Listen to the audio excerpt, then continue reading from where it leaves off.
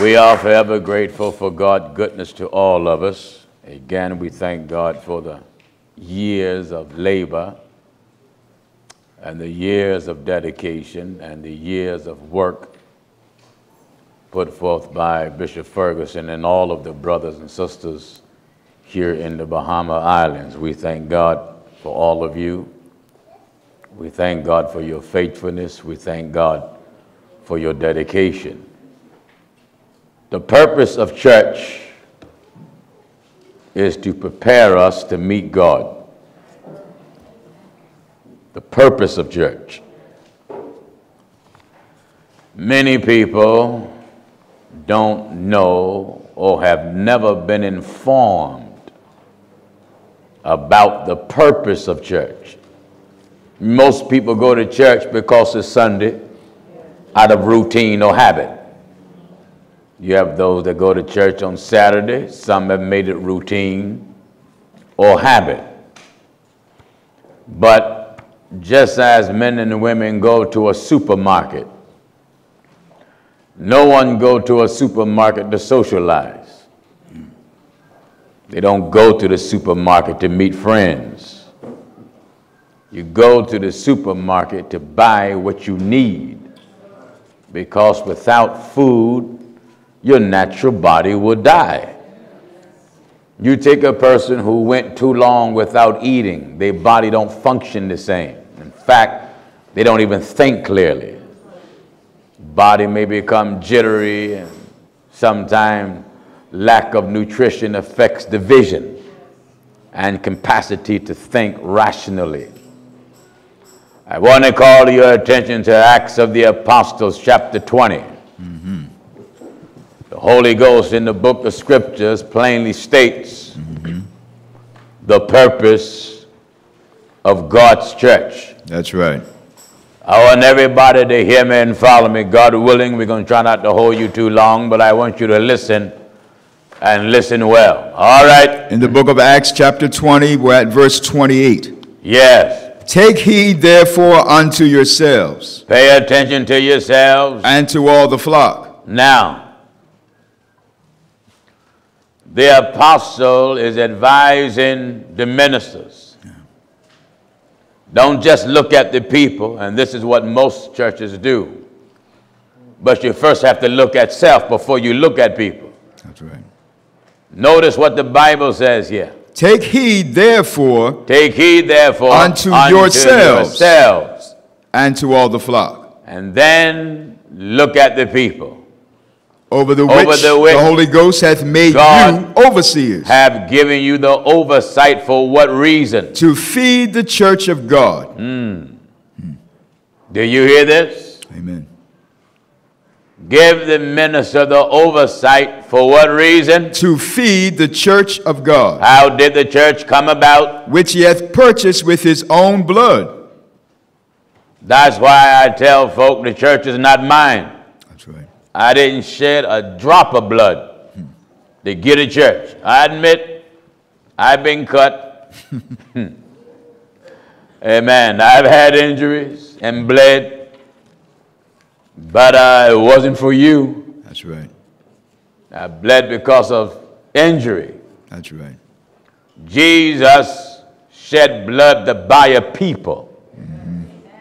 Now, we belong to God. And if we belong to God, don't He got the right to tell you what you are allowed to do and what you are not allowed to do? What? If you belong to God, God can tell you where to go, where not to go, who to be around, who he don't want you to be around, what to say, what not to say, what to listen to, what not to listen to. That's right. So I want to say, well, Pastor Jennings, you make it seem like God is controlling. He is. That's right. Glory to God. That's right. He is. He's a controlling God. Mm-hmm. If God didn't control the universe, all the elements of heaven will get out of place. That's right. The sun rise and set by God's permission. The moon have its appointed time by God's permission. Everything in the universe functions according to the order of God. That's right. When God made the fowls of the air, the beasts of the fields, there's not a creature that God made from the animal world that ever gave God problems. God ain't never had a problem until he made man. That's right. Ever since he made hell-bound, hard-headed, rebellious, self-righteous, arrogant, stubborn, self-centered, lack of humility, man. You don't read where it says they repented God for making cows? No. you don't see where it says they repented God for making goats? or repented God for making birds? God ain't never repented for nothing. But after he made man, the Word of God plainly states. And God looked upon the earth. Listen. In the book of Genesis, chapter 6 and at verse 12. Follow me. And God looked God upon the earth. Looked upon the earth. And behold, it was corrupt. It was corrupt. For all flesh had corrupted his way upon the earth. All flesh. Mm -hmm had corrupted his way upon the earth. Yes. And God said unto Noah, The end of all flesh the is end of all me. flesh is come up before him. For the earth is filled with violence through them. The earth in Noah's day were filled with violence, and is filled with violence now. And the book says it repented God. That's right. For making man, man mm -hmm. that grieve God. Mm -hmm. So God come along manifesting himself in flesh to give man teaching. He didn't want to hear the prophets. He don't want to hear them now. Right. Didn't want to hear the apostles. Don't want to hear them now. Don't want to hear the scriptures. You know, people don't mind reading the Bible. They don't get hurt that much. Right. But to hear the Bible truly preached, it hurts, it hurts them and it offends them. Listen at this. Back in Acts 20 and verse 28. All right. Take heed therefore unto yourselves. All right, Bahamas, and you that are listening and watching, pay attention to yourself. And to all the flock. And to all the flock over the which the Holy Ghost hath made you overseers. What is the purpose of the church? To feed the church of God. That's why I'm here. And that's why we travel everywhere else. That's why Bishop Ferguson is here in the Bahamas. That's why the ministers labor in other part of the Bahamas. For what reason? To feed the church of God. You come to church to get fed. That's right. If you're not getting fed God's word, I don't care how much you speak in tongue. You can speak in tongue until you make the carpet roll in your mouth. Amen. When you spit the fibers of the carpet out, if you're not getting fed God's word, you will be lost even with the Holy Ghost. That's right.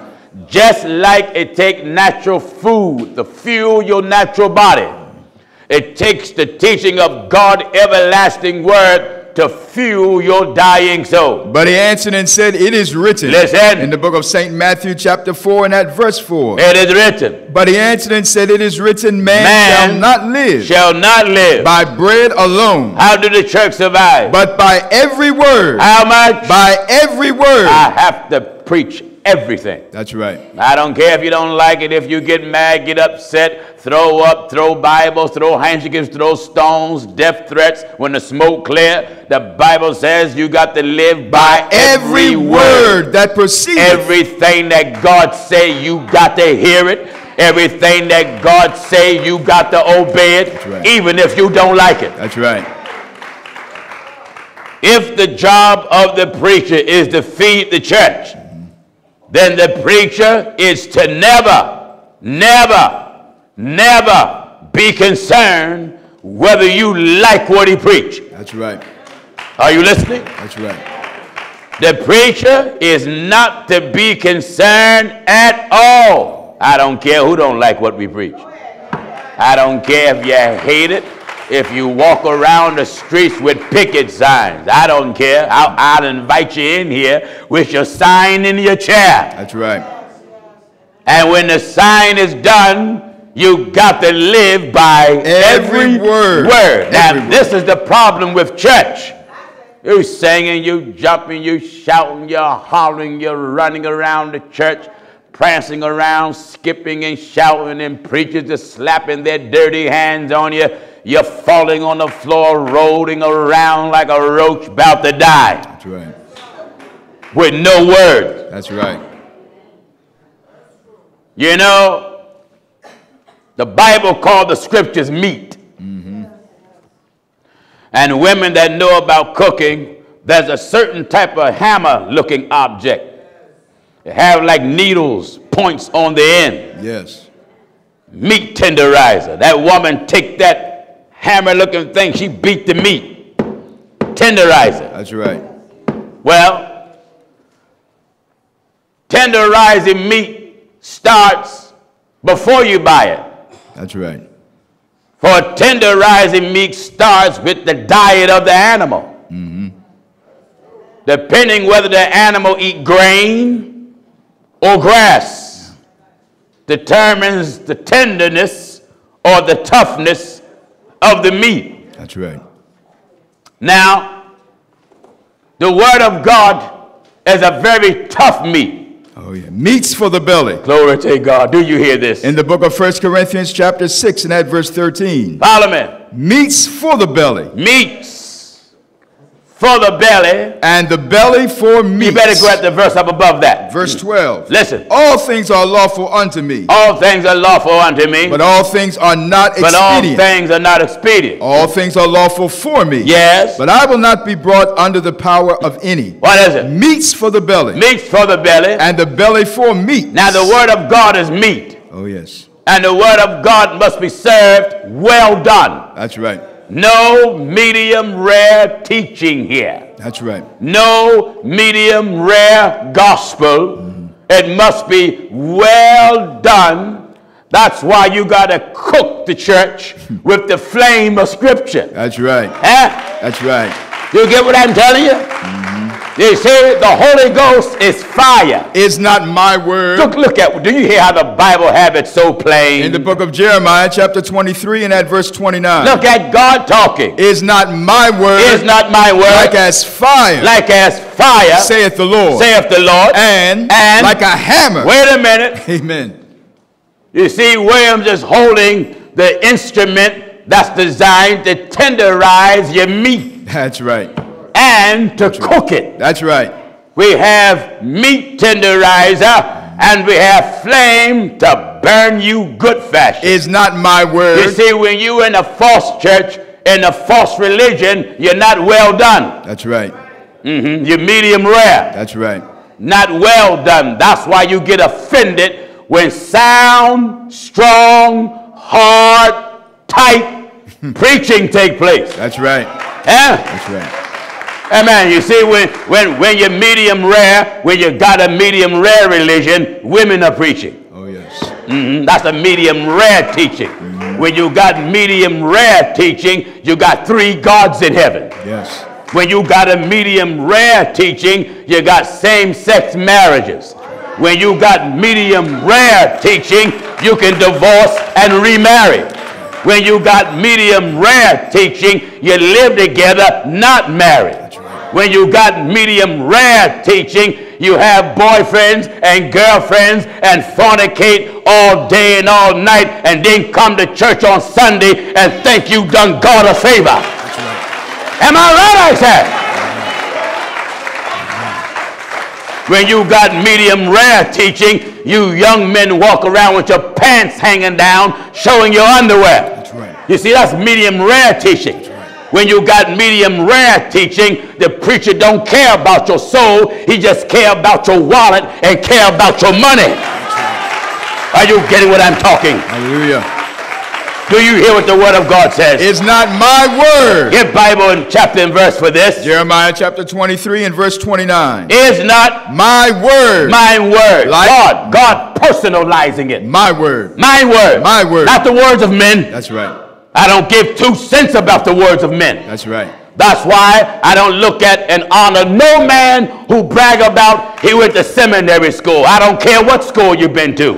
School don't make preachers. Amen. Holy Ghost make preachers. That's right.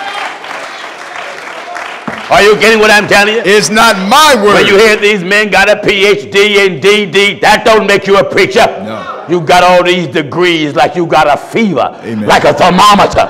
That don't mean nothing. Seminary school men don't preach the word. no.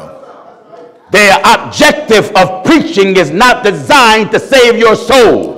Their objective of preaching is to entertain you and to make you excited, not to give you insight. That's why if you look at any seminary school preacher, he don't even preach with his normal voice. He get up, let the church say, man, ah, ah, say amen again. I was glad when he said unto me, "Yeah, yeah, let us go. Am I right, I said? He's not a preacher, he's a performer. And this performing hypocrisy have contaminated church and you became weaker and weaker and the preacher became richer and richer. That's right. My job as a preacher is to prepare you to meet God That's it. and stay out of hell. That's right. It's heaven or hell for the Bahama Islands. There's nothing else. I don't care how cute you are if you got more curves than all the hills of this island. Oh, yes. You're going to die one day. Oh, yeah. And the worm's going to wrap around your hips tighter than your skirt. That's right. You young man that think you're God's gift to every woman to fornicate with. You only got a short time to be a fool. That's right. You're going to stand before God. And you're going to give an account to God for the deeds done in your body. Is not my word. Do you hear God talking? In? Jeremiah 23 and verse 29. God said, Is not my word. my word. Like as a fire. That's why no preacher is telling the truth when he put on his church, he's the founder. That's right. Any preacher have on his church, he's the founder. That's a lie and a direct challenge to scripture. That's right. Jesus said, upon this rock I'll build my church. My church. That's right. So if Jesus declared the church My to be his, where was you when he started the church? Amen. You're nothing but a guest in his church. That's truth. And you can't even get in God's church without his permission. That's right. What put you in the church? The Holy Ghost put you in here. That's it. The Bible says you're baptized by one spirit into one body. Is not my word like a Fire. Fire. Fire. Saith the Lord. Saith the Lord. And like a hammer and like a hammer that breaketh the rock in pieces. that break what? The rock in pieces. Glory to God. Amen. We have a hard gospel. Oh, yes. Don't spares nobody. I'm not out for money, not out for popularity. I can preach free. Oh, yes. Not attached to no board of directors. I ain't attached to no one putting a cap on my check. I work. That's right. I got a job. I can come to Bahamas and anywhere else and kill you gladly. That's right. And don't worry about your money. When I come and travel, I don't get no speakers offered. No. And ain't nobody want to give you money for hurting their feelings. No, no. Huh? No, no. We come free, leave free, and put you on a straight path to obey God. That's right. Now, go back to the book of Acts of the Apostles. Back in Acts Give chapter 20. and verse, and let's atomize the purpose of church. Back in Acts chapter 20 and verse 28. Follow me. Take heed therefore unto yourselves Pay attention unto yourself and to all the flock, and to all the flock. over the which the Holy Ghost hath made you overseers. What is the job of the ministers in the pulpit? To feed the church of God. To do what? Feed the church of God. To do what? Feed the church of God. The question is, are you being fed today? And if you say yes, what are you eating? That's right. That's it.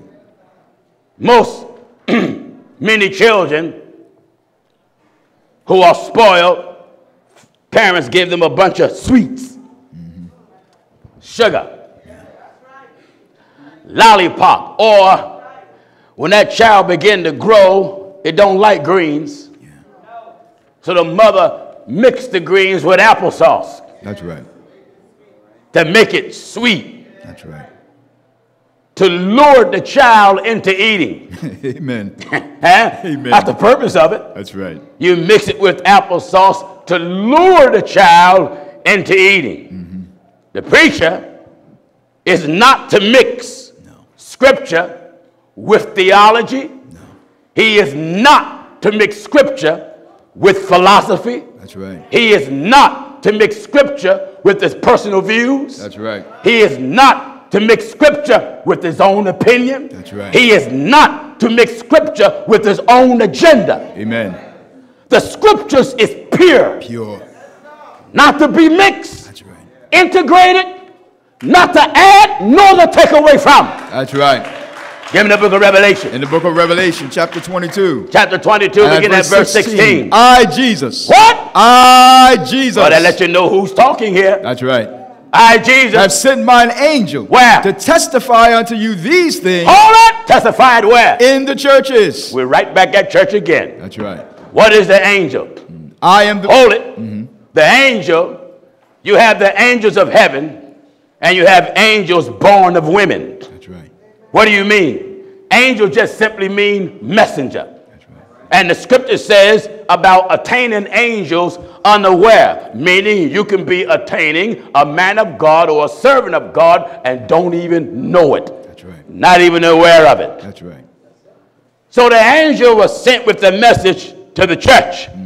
Says what? I, Jesus, have sent mine angel to testify unto you these things Uh-huh. in the churches. What is it? I am the root and the offspring I am the of David. root and the offspring of David. Jesus letting you know what line he come from. That's right. Come from the house of David, out of the town of Bethlehem where David was. Come from the tribe of Judah, who was one of the sons of Jacob. Amen. So he come on out of the tribe of Judah from the house of David. That's why Jesus is called Son of Man. That's right. Son of Man means son of a prophet. Son of a prophet. Well, who was the father of this prophet? David was. For the Bible says that he come of the throne of his father David, there shall be no end. The house that Jesus came out of, David was the father of that house. That's right. Listen. I am the root and the offspring of David, And- the bright and morning star. What else? And the Spirit and the bride say, Come. the Spirit and the church. The church is the bride. That's right. God calls the world to come to him through the church. And the Spirit the Spirit and the bride and the bride. say, Come. Say, come. and let him that heareth say, Let Come. him that listen, you come. and let him that is athirst come. If you're thirsty, come. and whosoever will, What? let him take the water of life freely. What did he say? I testify Look un- here. Revelation 22 and verse 18 I testify unto every man. that heareth the words of the prophecy of this book. If what? If any man shall add unto these things, What will God do to him? God shall add unto him the plagues that are written in this book. Hold it. This is where churches have drifted away from scripture policy. God's word is good enough for us. That's right. That's right. But because men are afraid to uh, offend, they don't want to offend their wife, they don't want to offend their sons and daughters, they don't want to offend their blood brothers and their mama and their slap happy grandpappy. The preachers, the preachers don't want to offend his second wife. That's right. He don't want to offend his congregational girlfriend. That's right. Am I right? That's right. That's right. And because he don't want to offend, there are certain subjects he will not touch. From which some having swerved. What? From which some having Give chapter and verse for this. In 1 Timothy chapter 1, and we're at verse 6. What is it? From which some having swerved. Begin at verse 5. At verse 5. Uh-huh. Now the end of the commandment is charity out of a pure heart. What else? And of a good conscience. And, And- of faith unfeigned. What else? From which some having swerved. Some have swerved. You know, sometimes when you're driving, there's something in the road that catch you off guard. You got to swerve and go around it. That's right. The word of God is here, and many have swerved and went right around it. That's right. They are confronted with the Bible, but they're so stubborn and they are so loyal to their organization. Let me say this to all of you that are here and you that are watching around the world. There should not be no organization that have your loyalty more than God. That's right. Are you listening? That's right. There shouldn't be an organization under the sun that you're more loyal to than God Himself. Anytime you truly stand for God and the organization you're in get wrong, if you of God, you will fight against the organization. That's right. Oh, yes, you will. Oh, yes, you will. Listen, From which some, having swerved, they have swerved, have turned aside, turned aside unto vain jangling. unto vain jangling, Desiring a, to be teachers, a bunch of nothingness. That's right. They desire to be pre- to be teachers. of the law, Of the law. understanding neither what they say, they don't have a clue of what they're talking about. nor whereof they affirm. So this is how men have added That's right. to the scriptures. This is why you have junior elders, mm-hmm. junior bishops, junior apostles, junior deacons, deaconess. You're not even a junior hypocrite. You're just a hypocrite. That's right. They have added. If any man shall add The unto Bible these said, if any man shall add unto these things, God shall add unto him the plagues that are written in this book. Listen, gi- give me Ephesians 4.11 and give me 1 Corinthians 12.28. Amen. Let's get the officers of the church. In Ephesians and let's look, 4. Let's look how they have added. We're working on where the apostle taught, if you add to these things, God shall add unto them the plagues that are written in the book, and then we'll show you what they took out the church. That's right. All right, because the Bible dealing with adding and take away. That's right. All right. First in Ephesians chapter 4 and at verse 11. Follow me. And he gave some apostles Wait a minute. That's what God put in the church. Mm-hmm. He gave some apostles. and some prophets, Some prophets and some evangelists. An apostle is one that God called, God sent, God anointed, God instructed. You can't lay hands on a man and ordain him an apostle. no. Some folks say, well, only to be an apostle, you had to walk with Jesus in the flesh. That's a lie. The a apostle lie. Paul didn't walk with him in the flesh. No, he didn't. Paul walked with him in the spirit. By the time Paul came along, Jesus been, died, and rose and ascended above all heavens. That's right. All right. And he gave some apostles. He gave some apostles. And some prophets. Some prophets. And some evangelists. Some evangelists. And some pastors. Some pastors, and teachers. teachers. For For what? the perfecting of the saints. What else? For the work of the ministry. What else? For the edifying of the body of Christ. Now look how the church have added to that. The mm-hmm. Bible said he gave some apostles. some apostles. what else? And some prophets. some prophets. and some evangelists. now, what the churches have added to that, they got women evangelists now. Right. Then they lie on the daughters of Philip and said Philip had four daughters that were evangelists. You old liars. That's right. You religious fakers. The Bible ain't never said that. No. He said he had four daughters that was prophetess. prophesied. They weren't walking around evangelizing and laying hands on people. The pastor's wife is the assistant pastor, which is a bundle of trash from the pits of hell. That's right. Are you listening? And he gave some apostles. He gave some, Some apostles. some, Some. Not all, some apostles, And some prophets. some prophets. A prophet is, listen, a prophet is a messenger of God who tell the four events that's going to come. That's right. And the way you can tell that he's a false prophet is when he speak by his own will, by his own permission, and everything he said, none of it come to pass. That's right. It's amazing how the Lord only talked to these devils during offering time. Amen. Have you noticed that? You go to any old church that's half baked and half done and medium rare. The only time a man feel the Lord talking to him is when the plate is being passed around. Once that plate is gone around and when he see he ain't got enough, right away he get in the fake tongue. He the Lord just spoke to me and told me to tell you there's five more thousands in the house. And the Lord said, if you give that money, he do what you're going to do. And you church suckers, church suckers, fall for that hypocrisy. And that's the blessing plan. The blessing plan is plain and simple. The plan is get your money. The blessing is he got your money. That's right. So the only one that get blessed from the plan is the preacher. That's right. Are you listening to the old troublemaker? And he gave some apostles. He gave some apostles. And some prophets. some prophets, And some evangelists. some evangelists, And some pastors. some pastors. Now, not the preacher is a pastor or a shepherd and his wife is assistant shepherd. No. No, no. You got to keep it in the order of the doctrine of the apostles. That's right. Now, the doctrine of the apostles contradicts every organization. That's right. Any organization started by man, built by man, and promotes the theory of man will always be in contradiction of God everlasting word. That's right. Listen, And some pastors. some pastors. And teachers. Teachers. For the perfecting of the saints. Wait a minute. These officers were put in the church for what reason? For the perfecting of the saints. When a thing is perfect, it's, it's, it's uh, correct. Right. When it's perfect, it's complete. In order for the church to get complete, it take all these officers. That's right. You got to have all these officers functioning in the capacity that's outlined in God's word. No junior, no junior apostles. No. No, no, no, no junior. There ain't got to be being no junior nowhere on the Bahama Islands That's right. or nowhere in America or nowhere in Europe. No junior elders, none of that foolishness. No. So this is where religion and organizations have added. Added. And the Apostle John tells us in Revelation 22, 18, If any man shall add unto these things. if you add, any man.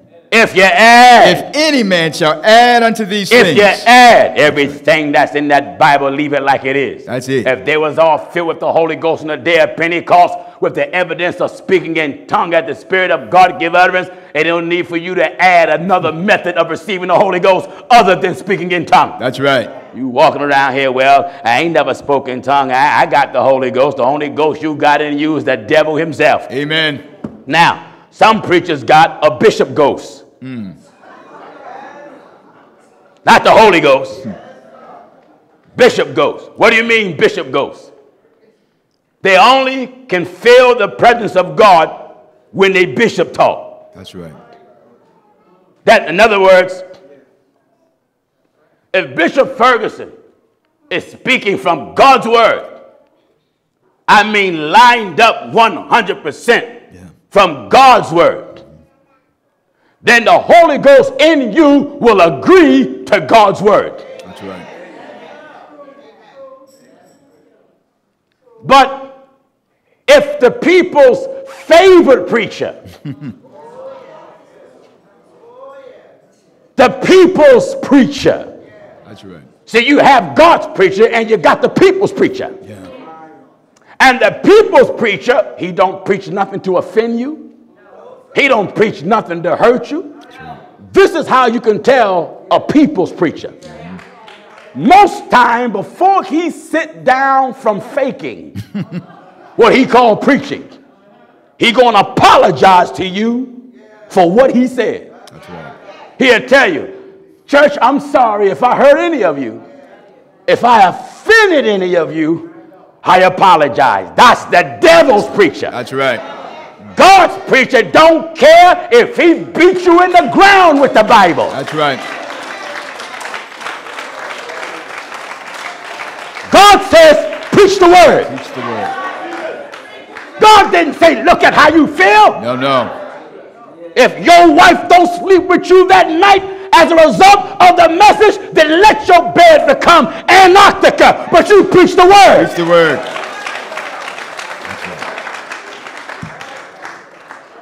Anytime a preacher's wife dictate the pulpit, you're following a false prophet. That's right. The preacher wife have no say so about God's church. That's right. The Bible speaks plain in the 20th chapter of Acts, over which the Holy Ghost have made you overseers Feed the church of God. feed the church of God. Feed the church of the God. church of God. Feed the church of God. Feed them. Feed. That's right. Not cry on your wife because the church won't cooperate. Feed them. Feed. That's right. If they all get up and walk out, go behind them and feed them while they leave. That's right.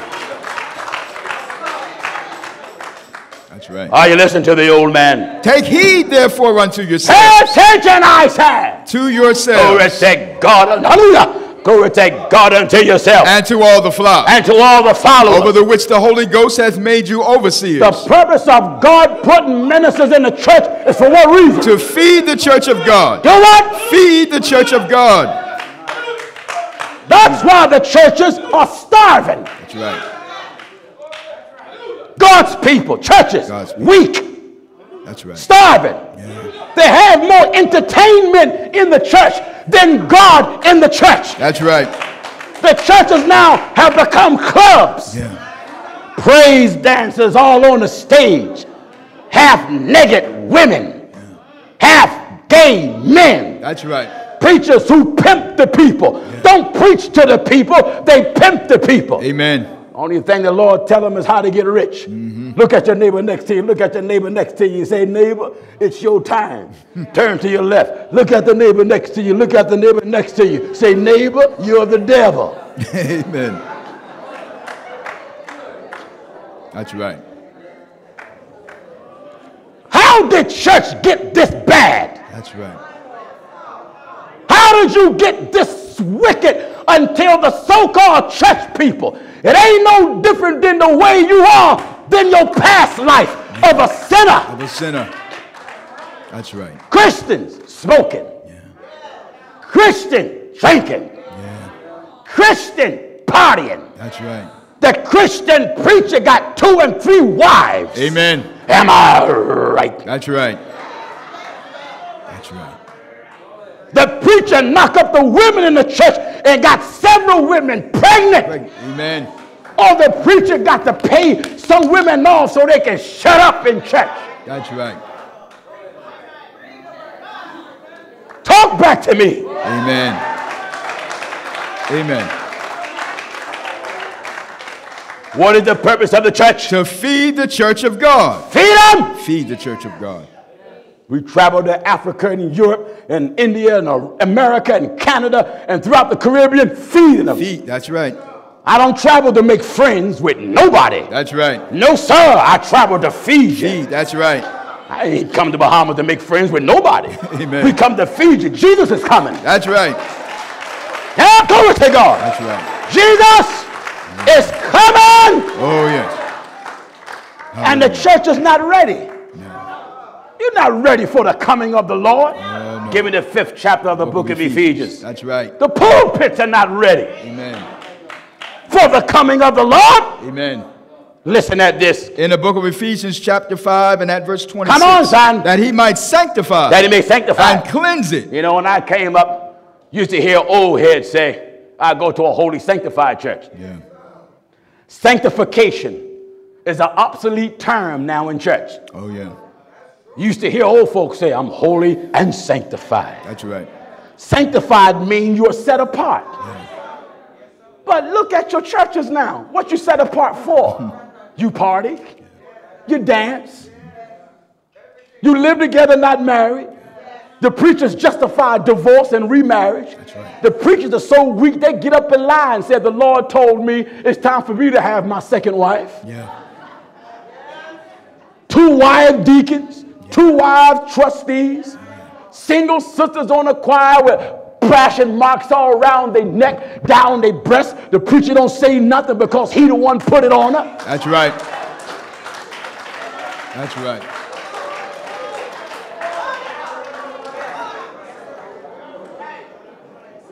Do you hear what the word of God says? That he might sanctify. God's church is a sanctified church. Amen.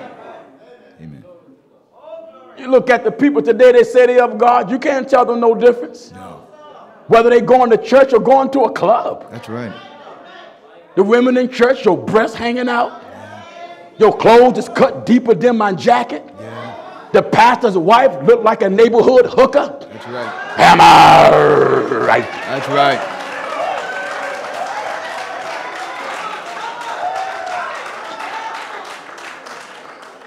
Old folks used to say you look like Jezebel. Am I right, I said? Amen. This is holy, sanctified, teaching. This is the type of teaching that churches have become so modern. They say, well, this is an educated society. and We're living in the 21st century. And we find that this type of teaching is, uh, is somewhat primitive. All you need to do is go to seminary school and come up with a few PhDs and DDs so you can uh, uh, escalate to the people. That's right. Amen. a bunch of educated fools. Fools. God don't give two cents about your degrees. No. God don't give two cents about the size of your house. Oh, no. And he don't care about the size of your church. And God don't give two cents about your bankroll. Who's more richer than him? That's right. Your celebrity status mean nothing to God. Amen. Naked, you came in the world. Naked, you shall return. Return. So you drinking Christians, you partying Christians, you cigarette sucking and joint suckers and reefer sucking Christians. That's right. Who is your God? No, I know the preacher tell you God ain't looking at your outward. He looking at the heart, and that's a lie. God look at the outward and he look at the heart because when the heart get right, everything on the outside falls in place. That's right. The word of God says what? That he might sanctify and cleanse it with the washing of water by the word, that he might present it to himself. God is coming for what? That he might present it to himself. He may present the church to himself. a glorious church. What kind? And not having spot. What? Not having spot. Not having spot. Anyone who get themselves dressed, they uh, inspect their clothes That's right. because they want to be presentable. That's right. God is inspecting our lives. Oh, yeah. Because when he come, he wanted to be presentable. Mm-hmm. And your life got to be presentable. In other words, it got to be right in his eyes, not yours. That's right. Do, you, do we understand this? That's right. Because the Bible says there's a way that seemeth right unto man, but the end thereof are the ways of death. What may seem right to you may be wrong in the eyes of God. Oh, yeah. This is why nobody should approach the Bible with your personal feelings That's right. and your personal views. Yeah. If God said something, you got to do it. Amen. Anytime God said something and the preacher say, well, it, it doesn't matter. That's where these modern Christians are. It doesn't matter. You know, I'm saved regardless. It ain't no one saved unless your salvation measure up to that book. That's it. Because you go to church and be moved by a song, a song can make a monkey jump. Oh, yeah. A song can make a snake weave and bob. That's right. You can't, you, you ain't gonna be saved by a song. No. Only thing save you is God's word being preached. That's it. Listen. That he might present it to himself. What kind? A glorious church. Not having what? Not having spot. What else? Or wrinkle. Hold it right there. When there's a wrinkle, something is out of place. Yeah. There's certain material that hold wrinkles more than others. Oh, yeah. So when you iron that material, sometimes you got to apply more steam, That's right. more heat. You press that button and that iron, whoosh. that's a stubborn wrinkle. That's right. There are many things that's out of place in church. Yeah. And the preachers are so stubborn, I got to take the iron of the scriptures and force scriptural steam on it. That's right. And, and to get all the wrinkles out, look at your life. Mm-hmm. Look at your life. Yeah. If the Lord came right now, can you honestly say you will make the first resurrection? Lord. Or will you go to hell? My Lord. If the Lord came now, it's 10 minutes to 1. Can you honestly say you are ready to go back with him? My Lord. Or if he came, you will go to hell based upon the way you live and the way you think and the way you act and the way you feel. That's right. Because according to the word, That's right. he's going to present to himself, A glorious church. not what? Not having spot. Not having what? Not having spot. When there's a spot or a stain, that's sin in your life. That's right. Else? Or wrinkle. When there's wrinkle, there's things out of place in the way you think, and the way you feel, and the way you act, Or- and the way you believe. That's right. Uh-huh. Or any such thing. Any such thing cover everything else. But that it should be what? but that it should be holy. it should be Baptist. It should be holy. It should be non-denominational. That it should be holy. No, it should be Pentecostal. It should be holy. It should be apostolic. It should be holy. It should be UPC. It should be holy. It should be PAW. It should be holy. It should be anything else but this. But that it should be holy. What are you? Mm-hmm. What are you? You hear what the Bible says? But that it should be holy. I am apostolic. I don't care what you are. That ain't what Jesus said. No, it didn't. Apostolic and holiness is the same thing. You liar. If it was the same thing, I should see both of them in here. That's right. All I see is holy, in Holy, here. that's Holy prophets, holy God, holy apostles. Apostles. He spake by the holy prophets since the world began. That's right. The first apostolic church came out of Rome, Italy. Mm-hmm. It's the Catholic Church Yeah. that first called themselves apostolic. And blind men in America and Europe adapt the same title. That's right. We are the children of God, and we supposed to be what God is. That's right. Give me Leviticus 19 chapter, 19 son. chapter. Glory to God and begin at verse 1. Leviticus 19 if 19 this message offend 1. anybody, good. You come on back this evening, and we'll pick up where we left off. Levit- Listen! Leviticus 19 and verse 1. Follow me in your Bible. Mm-hmm. Don't say that's Pastor Jennings preaching. Follow me in your Bible. That's. Follow me in your Bible. Listen. Leviticus chapter 19, we're at verse 1. Says what? And the Lord spake unto Moses, No, saying, Gino Jennings spake to Moses. The Lord spake unto Moses. Gino Jennings spake to Moses. The Lord spake unto Moses. People get mad at me all around the world. That Gino Jennings is so mean. He, he think ain't no one right but him. And I think ain't no one right but God. And I'm going to stand on what God on said. that. If God says be holy, I challenge everything else that profess another profession. That's right. And I do mean everything else. That's right. Because the word of God said we profess a good profession before many witnesses. Mm-hmm. Now I have the world as my witness, and I'm professing holiness throughout every state, state. country, island in the world. And I'm declaring to the whole world, come back to the holy concepts that's written in God's word. That's it. If you don't want to come back to that, close up church, stay home, and go to hell free. Free. What are you paying your way to hell for? Amen. Why would you pay to put gas in your car just to go to hell? Hmm. If you're gonna go to hell, go free. Yeah. Go free. Go free. Don't don't go broke. Have a, at least some money, some some change before you die and go to hell. That's right. Listen. And the Lord spake unto Moses, saying, What is it? Speak unto all the congregation of the children of Israel, What should we be? and say unto them, Ye shall be holy. All this other stuff started by men, mm-hmm. came by men. Yeah. We believe in sticking to what's written. Get, shall- get all the worldly traditions out the church. Get all of it out. That's right. Stick to what's written in the Bible. That's it. When you stick to the old landmark, you stick to what Scripture says. That's You right. come on back to the original thing, the old pathway. pathway. You better give me the book of Jeremiah Jer- quickly. Mm-hmm. Come on, son. Amen. I want the book of Jeremiah. Follow me in your Bible. Mm-hmm. Come on, son. All book right, of- come on. In the book of Jeremiah, chapter 6 and verse 16. What is it? Thus saith the Lord. Well, who's talking? Thus saith the Lord. I notice they keep, they don't never refer to me, No. but yet they get mad at me. That's right. Who's talking? Thus saith the Lord. I let you know uh, God is my refuge. I can duck and hide under him. That's right. Thus saith the Lord, Stand ye in the way. Stand in the way And see. and see. And ask for the old path. ask for the old path. Where is- where is is the good way? The good way. And walk therein. That's where we're trying to bring everybody back to. That's right. Old paths. All this modern mess and preachers in the Caribbean and in Europe are influenced by these mega preachers they see in America on television. They want to be like them, so they bring that carnivalism. They bring that carnivalism that's what it is. right in their congregation. That's right. Touch and claim it. That ain't no Bible. Bible ain't never told you to touch and claim nothing. No. You going out on a parking lot praying over a car that somebody else have. Here you touching a car and you walking away, that car is mine. And a man or a woman got in it and drove away. You fool. Fool. Come on back to the Bible. That's right. Touch and claim it. Preachers telling people don't claim your sickness. You fool, you don't have to. Your sickness will claim you. That's right.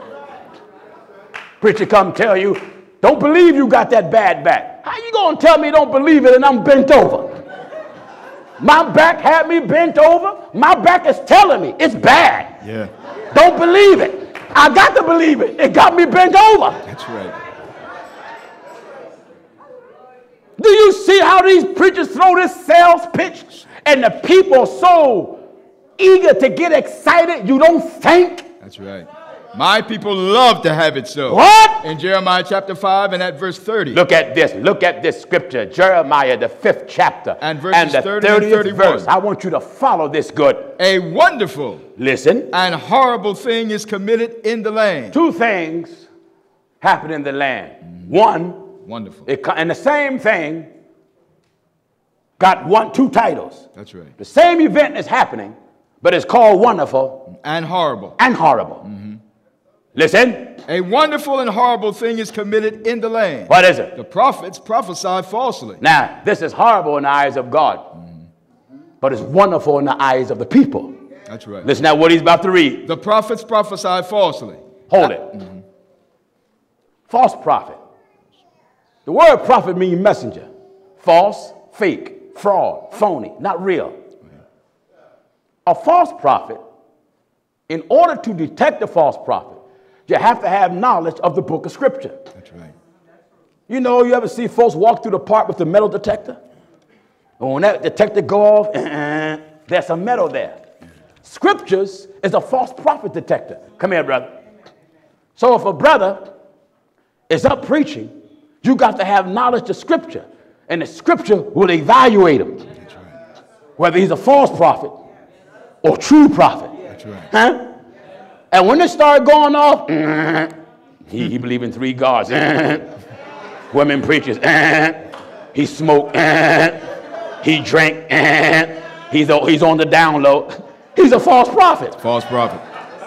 Now, the ignorant won't know it because they're busy yelling, Amen, go ahead, Amen. But people that have knowledge will slow down the Amen. And the Bible says, Your ear try words as the mouth doeth meats. Meats. Don't say amen to what you don't know. That's right. Don't say amen to what sound right. Mm-hmm. You say amen to what is right. And the only thing that is right is God's word. Amen. Are you getting what I'm telling you? A wonderful and horrible thing A wonderful, is horrible committed thing in is the committed land. in the land. The prophets prophesy falsely, Prophets prophesy falsely and. and the priests bear rule by their means. Wait a minute. The priests bear rule by their mean, mean they made themselves a preacher. That's right. They up there on their own. They, they, you know, they had some ham and egg vision. They ate some rice and beans and had too many beans, more than rice, and his pillow was too low and had a dream that he was sitting up in some pulpit yelling and he got up and said, God called and sent me to preach the gospel. Mm-hmm. Well, if God called and sent you to preach the gospel, then your message should not contradict God That's right. because God don't put lies in the mouths of his messengers. That's right. All of God's messengers run to the Bible for information. Mm-hmm. They rely on Bible for information. They- did you hear what I just said? Mm-hmm. All of God's messengers look at what Jesus said. Jesus said, "Search the scriptures, Search the scriptures. for in them you think ye have eternal life." That's right. Jesus said they error because they know not what the scriptures. Scriptures. The, the apostle Paul said, Whatsoever things were written aforetime is written for our learning, that we, through patience and comfort of the scriptures, might have hope. Your hope's supposed to be in the scriptures and nothing else. And that from a child. Listen. In the book of 2 Timothy chapter 3 and verse 15. Listen. And that from a child thou hast known the holy scriptures, which are able to make thee wise unto salvation. I don't believe nothing mm-hmm. but what the scripture says. That's it. And I find the scriptures have contradict the wisdom of men for years. That's right. That's why in all our travel, I often question people about things they heard preached through the years. Mm-hmm. Amen. Haven't you heard it preached that Paul died at Nero's chopping block? The Bible ain't never said that. No. Have you heard it preached that Peter was crucified head down and feet up and said, I'm not worthy to be crucified like my Lord? No such crucifixion ever been written in the Bible. That's right. Have you heard there's five minor prophets and five major? The Bible ain't never called no prophet, major or minor. That's right. Have you ever heard that there's 400 years of darkness that fell upon the earth after the last prophet Malachi died? The Bible ain't never said how many years it was. The Bible just said darkness shall cover the earth and gross darkness the people. They have added to the Bible, so what have happened? Preachers have came from under preachers, who have came from under preachers, who have came from under preachers. So what happened? Teaching was passed down from generation to generation, and bishops never was questioned. That's right. Because most of the bishops wouldn't let you question them. They look at that as being disrespectful. And I tell people this anytime you financially supporting any church, you got a right to question that man about anything he preach. If he don't want to answer you, don't give him the dime. That's right. Let him get a job and go to work. Mm-hmm. Are you listening? A wonderful and horrible thing is committed in the land. A wonderful Horrible. and horrible thing. Is committed in the land. What's the problem in the land, Williams? The prophets prophesy falsely. Preachers up just speaking anything, like these prosperity preachers. They have no conscience. In America, them devils don't have no conscience. No. When a man can get up and tell this congregation, the Lord told me to tell you to buy me a new jet. Hmm. And the people are sucking into raising $65 million and buy him a new jet. That's right. I had someone ask me, what about if a millionaire give you a jet? What would you do with it, Pastor Jennings? I sell it and build churches. with a gospel like this, I don't trust nobody in the cockpit. You may crash land me. Amen. Huh? Amen. Hey man, I'm sitting there about to go somewhere and preaching. This thing I know, head between your knees. Head. No, I ain't, I ain't gonna tolerate that. No, No, no. No, I just go on coach like I always do. That's right. What is it? The prophets prophesied Glory falsely. to God, the prophets prophesied falsely, And the priests and the bear preacher rule by bear their rule means. by their means. And my people, Look at what happened to God's people. my people love to have it so. How did you get like this? Amen. How did you get like this where all these gimmicks can take place in the church? That's right. A hundred dollar prayer line, a thousand dollar prayer line, a two thousand dollar prayer line. The preacher tell you if you want a super duper blessing, five thousand prayer line. Amen. Where do they preachers get this from? America. That's right. That's Why? They want a Bentley like the American preachers.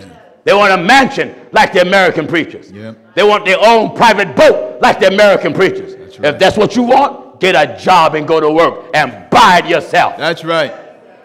And I right, I said? The prophets prophesied falsely. the prophets, God have never designed church for a preacher to get rich off of it. No. Did you hear me? No, no. God have never designed church for the members to make the preachers rich That's right. and fat like one of the three billy goats. They are waxing fat. What did he say? They are waxing fat. Give chapter and verse, son. Jeremiah chapter 5 and at verse 28. All this is in the Bible. That's right. They are waxing what condition? They are waxing fat. when they get fat, what happens? They shine. Amen. Huh? Amen. What is? Give chapter and verse again. Jeremiah chapter 5 and at verse 28. What is it? They are waxing fat. After he done got your money, brother, that money, first he was 165 pounds. By the time he got your money over the year, 365 pounds. That's right. And after he get that money, he get fat off of it, then what? They shine. He's all glittery and shiny. That's right. Uh-huh. Yea, they overpass the deeds of the wicked. And when the preacher get fat, pockets get fat, bank account get bigger, as a result of fleecing the people, he overpass your deeds, meaning he overlook your wrong. That's right. He won't speak against your wickedness at all. That's right. That's right. Nothing. Why? Especially if you were one of them big contributors to the church. Oh, yeah. I preach the word of God if you give a million dollars an hour. I preach the word of God while you got your pen signing your check and let right. you know if you don't do right, you and your check is going to hell. That's right. You might as well face the fact. You came in the world broken. you going out the same way. Same way. Are you getting what I'm telling you? Yeah, they overpass the deeds of the wicked. A false prophet overlook the deeds of the wicked. He don't pay attention to you with your second wife and your second husband. You go to church to hear a sermon, God is love. and you and that other, and you and Sister Susie's, you got Sister Susie husband, and you looking at Sister Susie husband back in your eye. Because that old Jerry curl head, manicured, nail Yes. cross wearing devil that mm. posed as your preacher with a hair full of dyed hair. Go ahead. Am I right, I said? That's right. That's right. He don't want to offend you. Overpass the deeds He of the wicked. overpassed. He overpassed the fact that you gamble. That's right. He overlooked the fact that you one of the deacons that smoke and drink and lie and swear. He overpassed his son gambling. So he, his gambling son, his lying son, will still direct the choir and play the drums. His pregnant daughter, who ain't married, still would get up on the choir and sing. His homosexual brother will still be on the trustee or be a deacon, or the sister on the board of directors who's in divorce will still be on the board of directors. He overpass it Overpass it. because he's afraid to hurt her feelings because she's a loyal member for 40 years. What do God care? That's right. Either you're going to stand for God or stand for the devil. Amen. Are you listening to what I'm telling you? Yea, they overpass the deeds of the wicked. They overpass the deeds of the wicked. They, judge not the cause, They don't judge the cause, the cause of the father. the cause of the father. Yet they prosper. what? Yet they prosper. The preachers today don't care what condition the people are in. That's right. As long as they can live good, eat good, they wouldn't care if you hungry. That's right. If they were hungry and they know it, some of the preachers wouldn't lift a finger. That's right. They'll tell you, have faith, That's right. believe. God will make a way. Yeah. Now wait a minute. You mean to tell me If a brother- there's someone sitting right there hungry? You ain't got to call the church to raise an offering. No. If you got money in your own pocket, preacher, take it out, buy him some food. If a brother or sister be naked, Give me the book of James. in the book of St. James, chapter 2, and at verse 15. Follow me. If a brother or sister be naked and destitute of daily food, and one of you say unto them, What? Depart in peace, be ye warmed and filled, notwithstanding. You hear this? That's right. That's what the preachers tell them. Amen. Here they are hungry, don't have no clothes on their back, no mm-hmm. food in their mouth, mm-hmm. and these good for nothing low lives that pose as preachers tell them what? Depart in peace. Go on in peace. The Lord, the Lord spoke to me and told me to tell you to depart in peace. He salala, right. salala, I'm a liar, I'm a liar. That's right. Mm-hmm. That's right. He ought to add that to his resume of tongues. Huh? He ought to add that to his tongue resume. That's right. Glory to God. What did he say? And one of you say unto them, Depart One in say peace, unto them, depart in peace. be ye warmed and filled. Be ye warm and filled. Notwithstanding, ye give them not those things which are needful You don't the give body. them those things that are necessary. What doeth it profit? What do it profit? That's right. The job of the church is not just to help you spiritually, No. But also meet your need naturally. That's right. That don't mean for members to fleece the church. That's right. That don't mean for people to use the church. Yeah. The Bible said that all things be done decently and in order. And in order. I had people ask me, well, if someone hungry, Pastor Jennings, would you give them money to buy food? No. I go buy your food. Yeah. Or I get some brothers or sisters to go take you shopping and buy food. No, I won't give you the money because you may do that which is unlawful. That's you may smoke up your money or drink up your money. That's right. Now, if you're really hungry and I take you to a place to eat, uh, a hungry person don't care what they eat. No. If you're really hungry and I take you to eat, you ain't gonna tell me, I don't eat meat, I'm a vegetarian.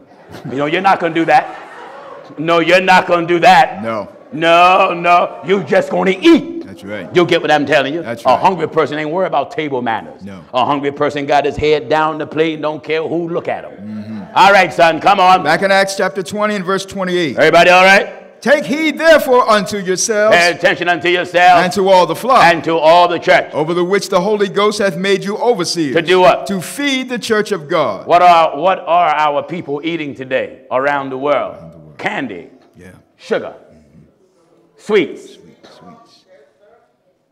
messages that make you feel good but don't do you no good. That's right.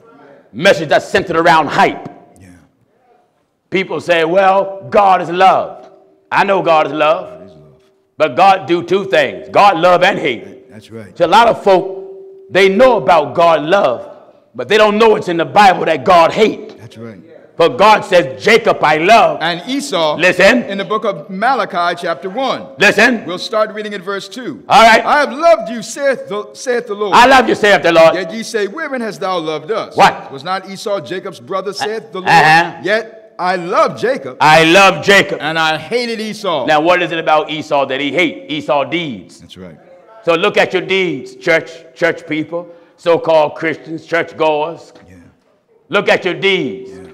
The Bible, you better give me the fifth chapter of the book of Galatians. Yes. Let's look at the deeds of the flesh. Amen. Amen. Let's look at the deeds of the flesh. And I want everybody that's here, you that are watching, to judge yourself according. In the book of Galatians, chapter 5, and me. Galatians 5 and verse 19. All right. Now the works of the flesh are manifest, which are these What is it? adultery, Hold it.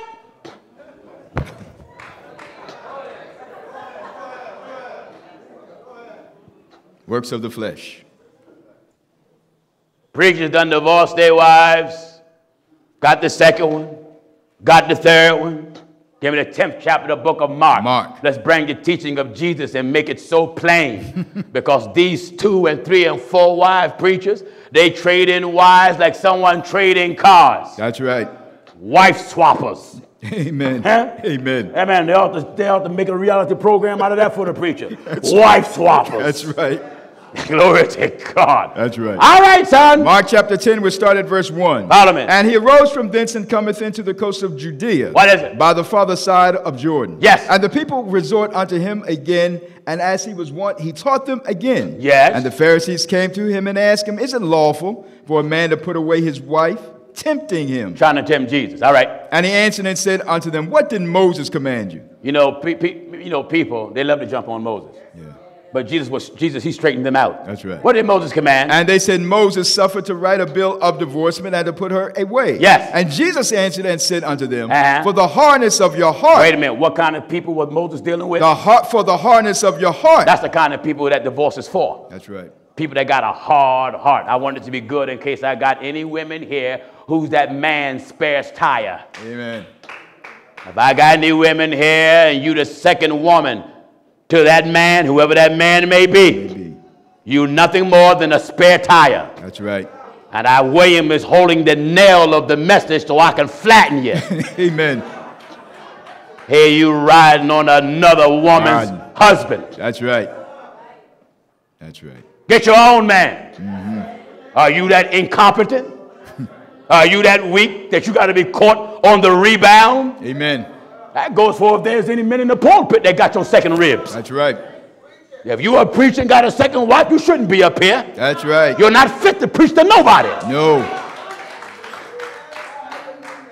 Are you listening to the old man? And Jesus answered and said unto them, For the hardness of your heart he wrote you this precept. It? But from the beginning of the creation, What? God hath made them male and female. What did God establish? For this cause shall a man leave his father and mother and cleave to his wife. And what? And they twain shall be one flesh. So then they are no more twain, but one flesh. Yes. But therefore God hath joined together. Let not man put asunder. And in the house his disciples asked him again of the same matter. What? And he saith unto them, at verse 11, Follow me. Mark chapter 10 and verse 11. Says what? And he saith unto them, Whosoever shall put away his wife All right. and marry Listen. whosoever. Listen. Amen. What did the Holy Ghost say? And he saith unto them, Whosoever. What about if they're an apostle? Whosoever. Bishop, Whosoever. pastor, Whosoever. evangelist, Whosoever. elder, Whosoever. Deacon, Whosoever. so-called junior bishop, Whosoever. twin brother, Whosoever. cousin, Whosoever. grandpappy, Whosoever. daddy, Whosoever. son. Whosoever. Amen. Speak in tongue now. you can't speak in tongue and your tongue is down the throat of your second husband. That's right. You can't speak in tongue and your tongue down the throat of your second wife. That's right. Huh? Amen. Are you listening to the old man? Whosoever. Hallelujah to God. Hallelujah. Whosoever Shall put away his wife shall put away his wife and marry another and marry another. committeth adultery against her. Whosoever. Wait, wait, wait. You better read. Clear up your glasses. Make sure they're nice and clean. Read, read that right because I'm pretty sure I got some adulterous women and mm-hmm. adultery men in here mm-hmm. that claim they're Christians. Amen. Mark chapter 10 and verse 11. Well, my pastor said it's all right, Pastor Jennings. Your pastor is a liar. That's right. Your pastor is a liar. That's right. Tell him come tell me that. I'll make him lick it up. Amen. I'll make them lick up that damnable rotten teaching. Amen. That teaching dissolve marriages. Yeah. And in fact, that type of teaching want to give him a way out because he don't want his first wife. And now right then, oh, the Lord spoke to me. What did you say, Lord? what did you say, Lord? And then he get up. He the Lord said to me that sister, sister Miriam is my wifey, wifey, wifey, Wifey. for me, wifey supposed to be prophesying. Wifey, he tell her about shut, tell her about shut, tell her about showbo, showbo. Yeah, stop showboating, showbo, showbo, showbo. You old liar. Amen. Your first wife still living. You ain't fit to pastor a cat. That's right. And he saith unto them, Do you hear the Bible? Whosoever shall put away his Jesus wife. talking. That's right. Give chapter and verse. Mark chapter 10 and verse 11. And he saith unto them, Jesus talking. and he saith unto them, You say you love Jesus. That's right. He said, You say you love Jesus. Amen. You said- say you love Jesus. Yeah. They sing that song. I want to be just like him. Do you? He saith unto them, Do you? Do you? But what did he say? And he saith unto them, What did Jesus say? Whosoever shall put away his wife Now you judge yourself. Whosoever put away his wife, and marry another this is plain, and you got another. committeth adultery against her. Whosoever. Whosoever. You see- You see how Whosoever. quiet it is? Very Huh? quiet. Very Do you see how quiet it is? Amen. Marriage wife. There it is. Whosoever, Whosoever shall put away his, his wife shall put away his wife and marry another and what? committeth adultery against You her. You lay with that woman. If your first wife is living, Yeah. you're on your way to hell if you're a bishop, That's right. if you're a pastor. That's right. If there's any women in here who's the second wife to any man in here, you in adultery. You an adulteress. Give me the seventh chapter of the book of of Romans. Romans. Amen. I'm begin at verse one. Romans chapter Nobody seven. tongue talk too much over this. No. There's an old song. Let the people say, Amen. Let the church say, No more adultery today. Amen. Amen. Come back to the Bible. Can't get away if you want to. Got to leave the woman alone. Oh, yeah. Amen. Come on back to Bible. That's right. Come back to the Bible. Amen. Don't give two cents about you joining some church, jumping around, flapping your adulterous arms and shouting with them adulterous legs, and another man is between them Go that ahead. ain't your husband. Go back ahead. to me. Go ahead. Go ahead, brother. Go ahead, man. Go ahead, brother. Why you listen to the old man? Amen. How are you a Christian? Mm. Riding on another's woman, another man's wife. Yeah. Whoso committeth adultery. Whoso, give chapter and verse. Now in Proverbs chapter 6 and verse 20. Whosoever commit adultery With a woman with a woman. lacketh understanding, he that doeth it destroyeth his own soul. In Proverbs 6 and verse 32. Any 32. preacher perform a wedding, and he know that man's wife is living, or that woman husband is living, that preacher is destroying your soul. Destro- that's right. If that preacher was of God, he would not allow such a wedding to take place in God's house. That's right. Who would follow a weak, cheap preacher like that? But those who want to be wicked. Amen. I don't care how old you are. You got a second husband, you's an old adulteress. That's right. This is old, holy, sanctified preaching.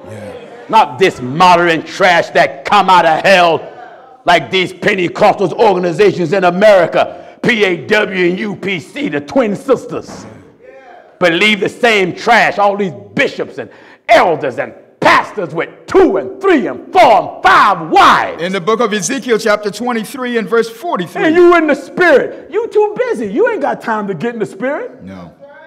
Do you hear this? In Ezekiel chapter 23 and verse 43. Follow me. Then said I unto her that was old in adulteries. Amen. Is actually in there. It's actually in here. Then said I unto her that was what? That was old in adulteries. Old grandma in the church That's right. coming in with her second husband. Amen. And all her other three husbands, the first, second, third, and she got a fourth one. Yeah. Thanks the Lord being good to me. right. I got a new husband, Deacon Gressel. Lord been good to me. I'm still kicking. You're right. You're right. You're in those hills that's giving your veins swollen, gonna be in hell. That's right. What happened to this type of teaching, folks? What's happened to this type of preaching? Even many sinners was raised up on this preaching. And that's why the sinner community have no respect for church. And you can't blame them. Because church members and preachers are hanging out at the same club and doing the same thing as the sinner. Amen. Amen. Are you getting what I'm telling you? That's right. The Holy Book says. Then said I unto her that was old in adultery. Old adulteries. in adultery. Will they now commit whoredoms? Wait a minute. If you committing adultery, what are you doing? Will they now commit whoredom? Are you will you continue to commit whoredom with her? Will you? and she with them? Oh, what, what, what? Will they commit whoredoms You, you, with you, her? here, here, here, here now. Amen. Yeah. You that got your second husband and second wife. You are committing whoredoms. Whoredoms. That's what you're doing. That's right. But I love them. Love your whoredom. That's right. Commit whoredoms. You commit whoredoms. You're not a whore. Stop living like one. That's right. Get your own husband. Yeah. Well, he dead. Then marry, get married again. It again. And leave these other people, husbands and wives, alone. That's right. That's right. Am I right, I said? Amen. Am I right, mother? Am I right, mother? Amen. Some of these women old enough to be my grandma, and you upset with me. Yeah. You upset with me, and you old enough to be my grandmother or mother. And you should be telling these young sisters, get out of these boys' face. But how can you run young boys out the face of your daughters and granddaughters when men is in your house like ticks on the back of a dog? Amen. Talk back to me. That's right. That's right. Oh, I can't believe he said that. Well, I certainly can't believe you act like that. Amen. You see, folks are not used to someone telling them to their face what they are. Yeah. They want to come to church and just touch the neighbor next to you and say, neighbor, when I count to three, everybody stand up and speak in tongue. Like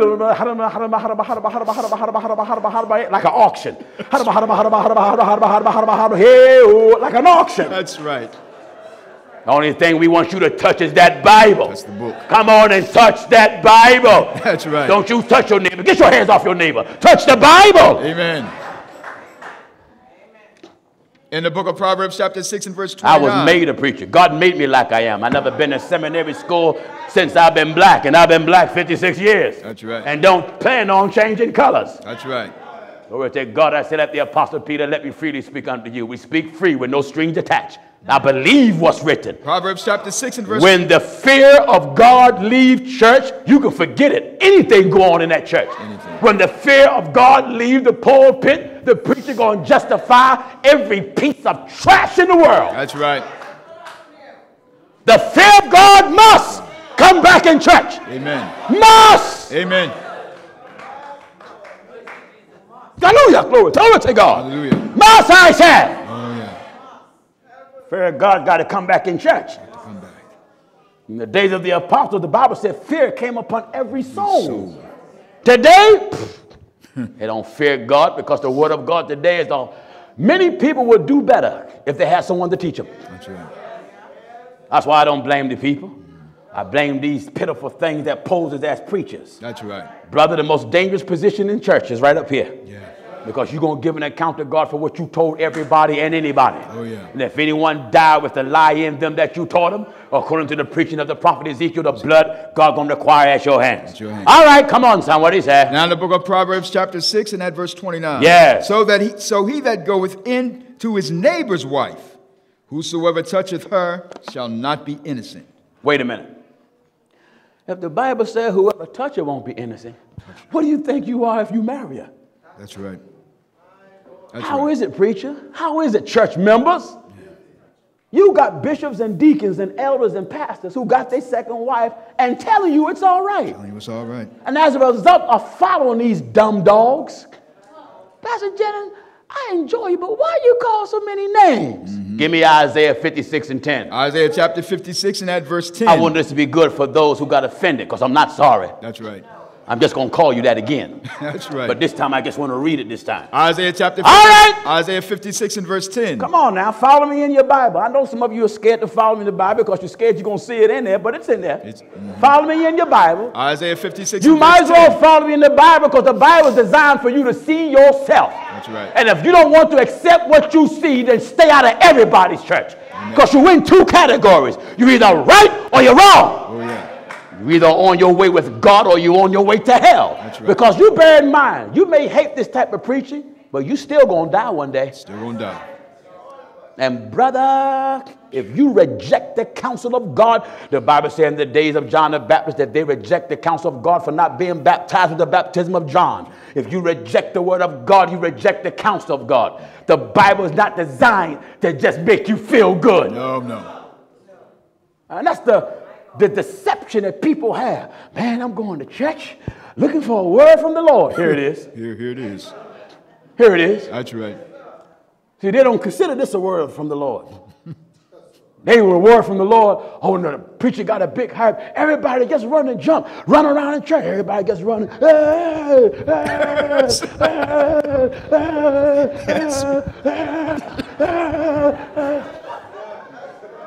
Then the preacher got you doing something else. Everybody just jump.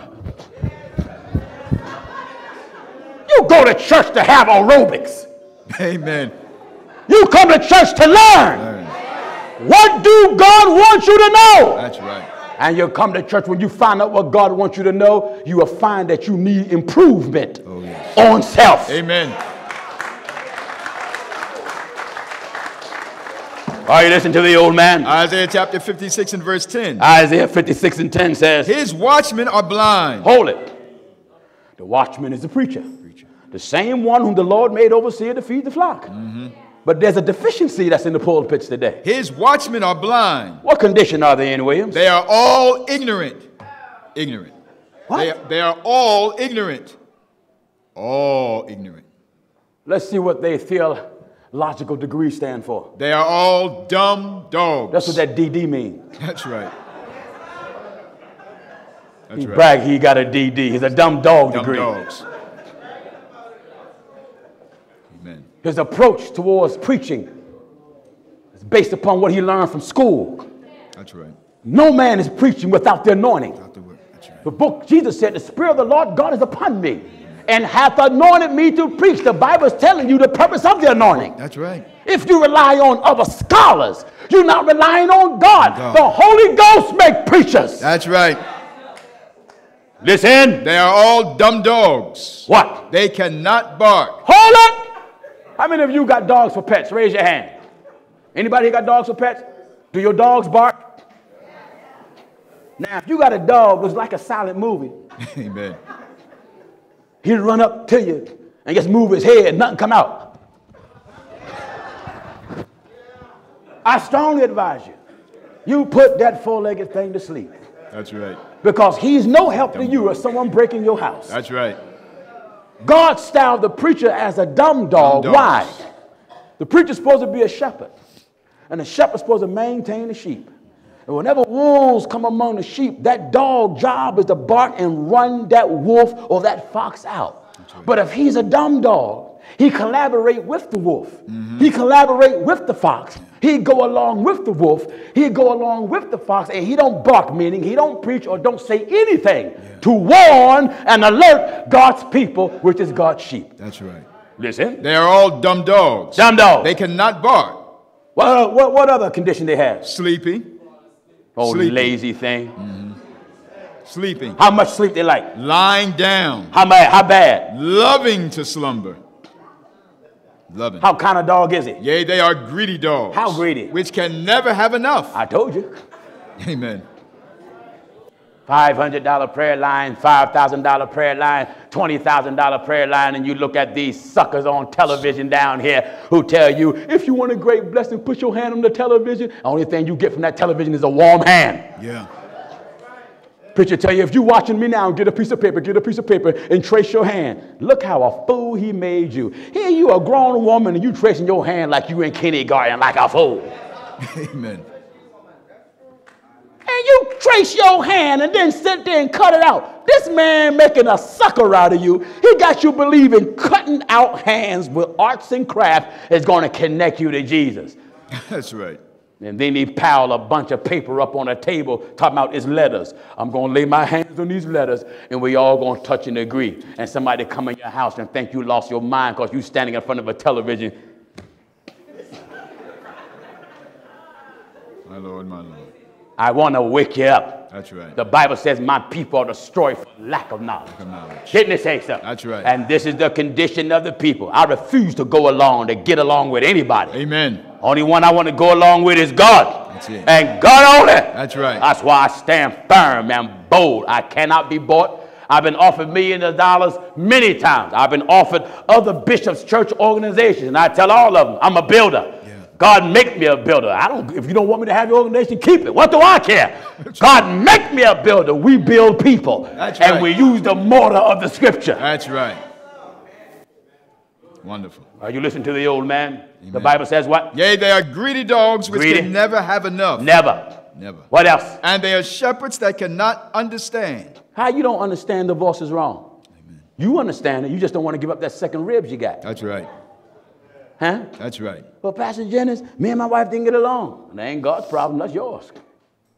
Well, what do you expect for me to do? I expect for you to do the seventh chapter of the book of Romans. Mm-hmm. That's a good question. This is what I expect for you to do, men and women. Romans I want you to hear this, Mr. and Mrs. Christian. Romans chapter 7, we start at verse 1. Mr. and Miss Christian, you that say you're a Christian, you know you read your Bible, and when Sunday come along, or when it get close to the weekend, you turn your radio off rap and R&B and start changing to gospel music, so you can, you know, set yourself up for, to get spiritual by the weekend. You know, you don't smoke and drink and gamble and party Friday night out there just shaking wig all loose, shaking your hair, your old lips is all red like Jezebel, and got somebody else's hair on, and got pearls and beads and ankle chains, and here you old enough to be my grandmama with an ankle chain. If you're not a hoe, stop wearing the label of one. That's right.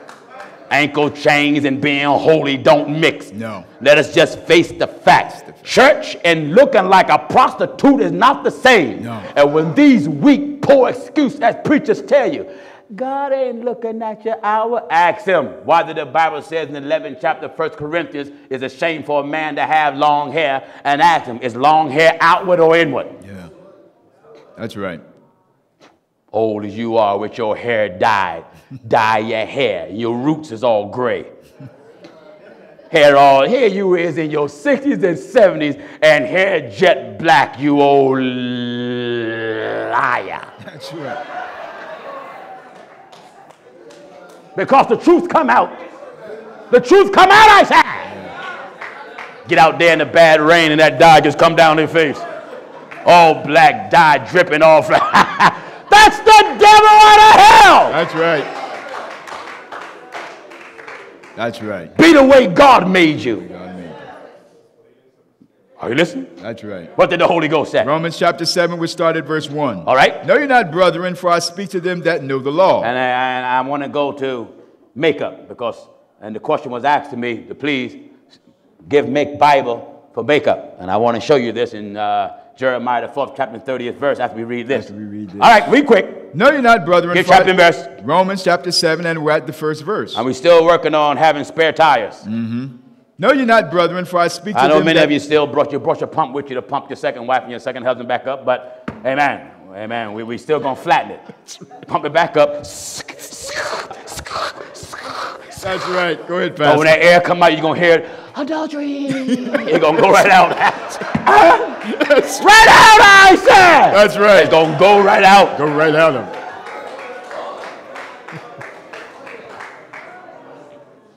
You got your second husband, your second wife. I'm telling you to your face. You no more Christian than a dog got eight legs like a spider. Mm. You are being knocked up by another woman's husband. Yeah.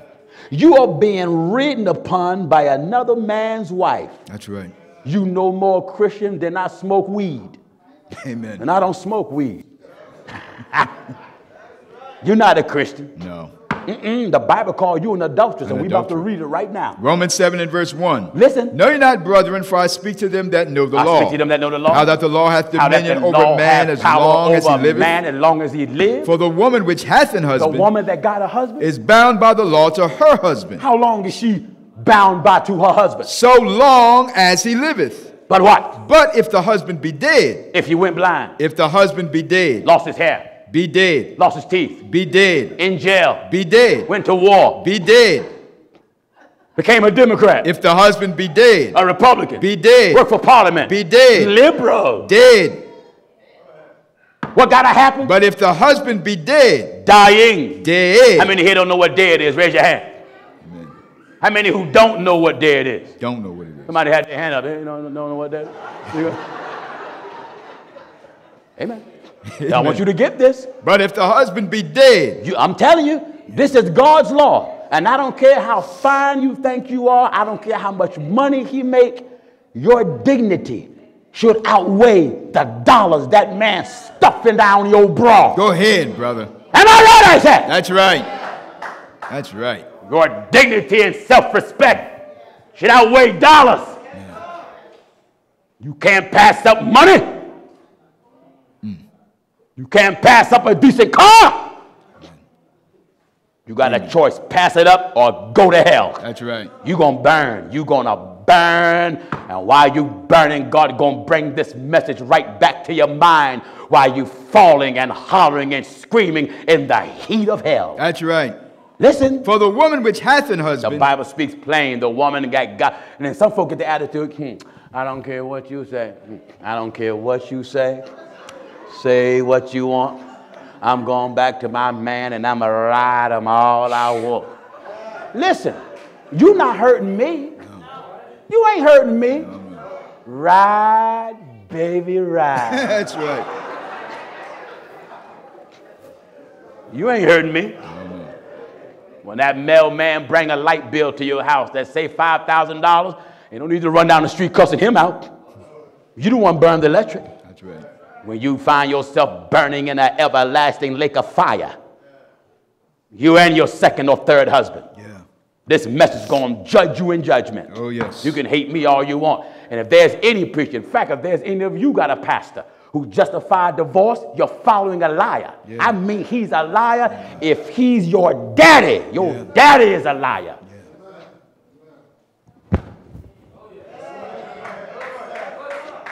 We going to do it like the Bible said or stop faking playing church. That's right. What did the Holy Ghost say? For the woman which hath an husband is bound by the law to her husband. The so woman long that have a husband is bound by the law to her, Her. husband. Her her husband. not somebody else. Her husband. How long? So long as he liveth. What? But if the husband be dead, Short. dead. Amen. On a respirator. But if the husband be dead, Death row. be dead. Well, Pastor Dennis Posey beat me up. Then the Bible justifies separation. That's right. Can I separate? Yes. Can I divorce? No. No. Give me separation in the seventh chapter, 1 Corinthians. 1 Corinthians chapter 7, and we're at verse 10. Follow me. And unto the married I command, yet not I, but Look the Lord. at all this Bible. Give chapter and verse again. 1 Corinthians chapter 7, and we're starting at verse 10. Chapter and verse again. 1 Corinthians chapter 7, and we're at the 10th verse. Chapter and verse again. 1 Corinthians chapter 7, and I'm at verse 10. Follow me in your Bible. And unto the married I command, Unto the married I command Yet not not I, I, yet, but the Lord. Yet the Lord. but the Lord. Uh-huh. Let not the wife depart from her husband. Don't let the wife depart from the husband. But, But and if she depart, now the Lord knew everybody ain't gonna stay together. He knew that. So when people do leave, he implement another law. What you should do while you're gone. but and if she depart, If you do leave, let her remain unmarried. that ain't what the bishop said. No. Your bishop said that if you leave, you can get another one, then you leave them. But that ain't what Bible says. But and if she depart, let her remain unmarried. No, go let her get another man. Let her remain unmarried, What, what suppose she get hot and want a man? What should she do? or be reconciled to her husband. You can't live Billy. You can't leave Billy and go get Paul. No. Well, Pastor Jim, I can't stay to myself. Then go back, Go to. Billy That's right. And leave Paul alone. That's right. That's right. Amen. You women in the churches that trying to move in on bishops and on preach and on uh, m- m- women who are married to pastors, women in the church try to move in on their husband. Yeah. No sister in the church should be flirtatious in the face of a preacher. That's right. If a sister in the church is flirtatious to the preacher, then the preacher wife got the right to step to you and put you in your place. Amen. Amen. Amen. And if the preacher wife stepped to you and put you in your place, then the preacher should not get upset with his wife. That's right. What you gonna get upset with your wife for when she doing her job? Amen. She got the right to lay you out. Yeah.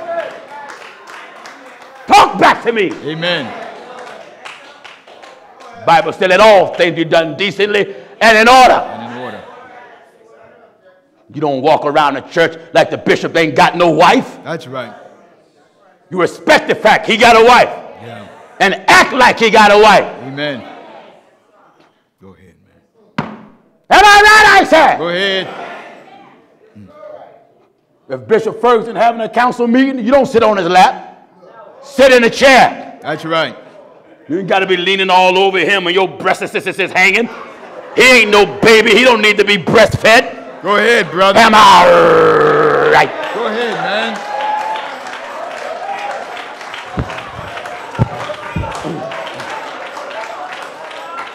Are you listening to what I'm talking? Go ahead.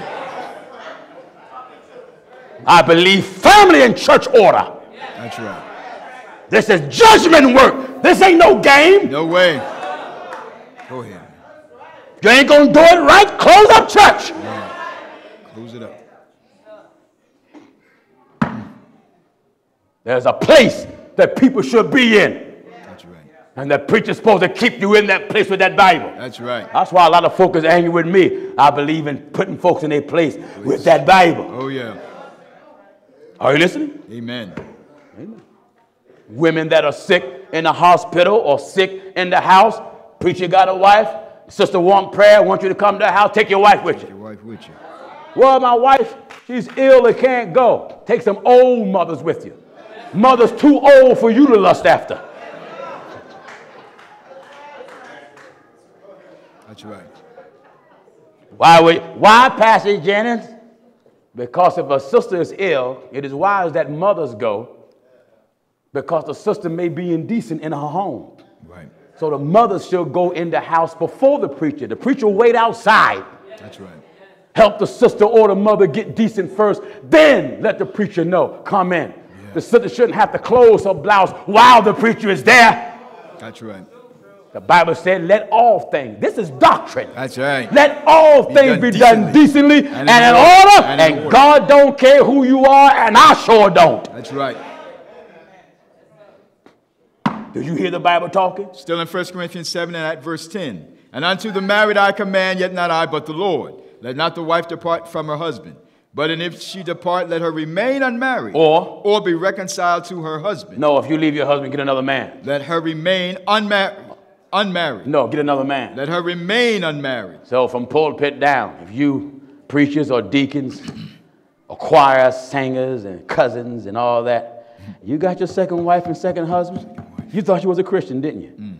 Oh, you no Christian. No. You ain't like Christ. Christ don't commit adultery. That's right. You can go to church now. Go to church and jump and shout all you want. All you want. But this message is gonna plague you in your dreams. Yeah. Every time Melvin crawl up on your bed and get up on you, you can try to shake this out of your head. Yeah. And you're gonna hear the gospel blast in your ear. He's not yours. Hmm? This word gonna hit the man low anatomy. Mm. Make it drop. huh? She's not yours. That's right. Go ahead. Holy and sanctification. Yeah. You don't want to be holy? Don't waste your time and go to nobody's church. Don't waste your time. Go back to the book of Acts. Everybody all right? Back on Acts 20 and verse 28. Take heed, therefore. before, you, before you go there, let's get uh, Jeremiah. I, let's get Jeremiah. I want to show about the makeup. About the makeup. Because somebody asked me to please prove by the Bible that makeup is wrong. Jeremiah chapter 4, we're starting at verse 30. And then I want the book of Kings. Right. And let's show you the woman that made it. That's The- right. The, what? That's right. All right. Jeremiah chapter 4, we're at verse 30. And when thou art spoiled, what wilt thou do? That's the problem. People are spoiled rotten in church. Yeah. It's like some inexperienced young parents who let their children run all across the furniture, go in the refrigerator, hands unwashed. But then when that same child go to grandma and grandpa's house, grandma and pa- grandpa don't play that. They tell you, sit down. That child act totally different when they go to grandma's house. Yeah. All that, all the mother got to do is tell them, look, if you don't act right, I'm gonna tell your grandmother. Oh. Why? There's something that grandma brings to the table. That's right. Are you getting what I'm telling you? That's right. Discipline left church. It is. It have left church. Discipline have left church. Order have left church because men have loved money so much. The love of money have made them weak and scared to stand up for God. Amen. Kind of demon preachers that will stand up for devo- uh, adultery but won't stand up for God. That's right. That's right. Go back to his church. Well, you heard what Pastor Jennings said. and we just got different views on it. It ain't what Pastor Jennings said. My name ain't Romans. No. Because he didn't read the scripture, you can get rid of your wife if she fornicate. All right, give me the 19th chapter of the book, book of of Matthew. Matthew. Let's read it. Matthew. I want to block them before they move that pawn there. That's right. I want to checkmate them with Bible. That's right. Huh? Before they get that pawn and that rook and that knight. Amen. I want to cross over and move with Bible. With- Listen. Matthew chapter 19, we're right at verse 9. Listen. And I say unto you, Uh oh, God talking again. I say unto you, I say to you. whosoever shall put away his wife, For what? except it be for fornication, What happened? and shall marry another, committeth adultery. Look at that scripture closely. Whosoever Whosoever shall put away shall his, put away his wife, except it be for fornication. she's talking about two kind of women here. It ain't a married woman under the sun commits fornication. A married person commits adultery. That's right. There ain't nobody in the divorce court because the husband committed fornication. No, It's adultery. that's right. So the married person that commit fornication is dealing with the ex-spouse wife, That's right. not the one you married to. It's the ex-spouse wife that commits fornication, not the one you say I do and you got that license. That's right. Well, Pastor Jenna ain't gonna tolerate my man cheating on me. You don't have to. You can separate. Separate. But you can't marry again until he drop dead. Right. And you can't speed up his death.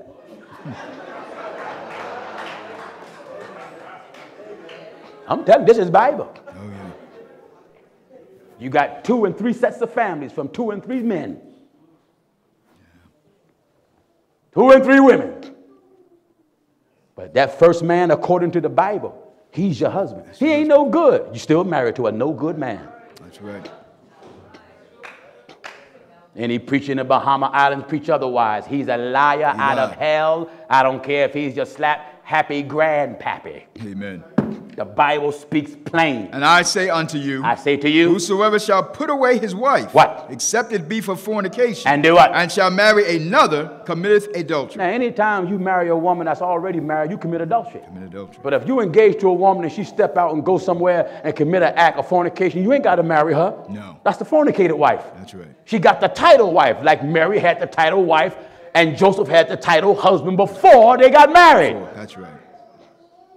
All right, let's go back to where you were so Back- I can knock off. Back in Jeremiah chapter 4 and at verse 30. All right, let's get this makeup business that people are asking me about down here. Jeremiah 4 and verse 30. Folks and when want to know is anything mm-hmm. wrong with putting a little rouge over your eyes and paint over your lips and making your cheeks a little bit blushy That's right. and say that's beautiful. No, it ain't. Beauty is obeying God. Yeah. Well, my husband wants to see me like this. Suppose you get sick and can't wear it. Then what? That's right. Your husband should love the real deal, That's right. not artwork. Amen.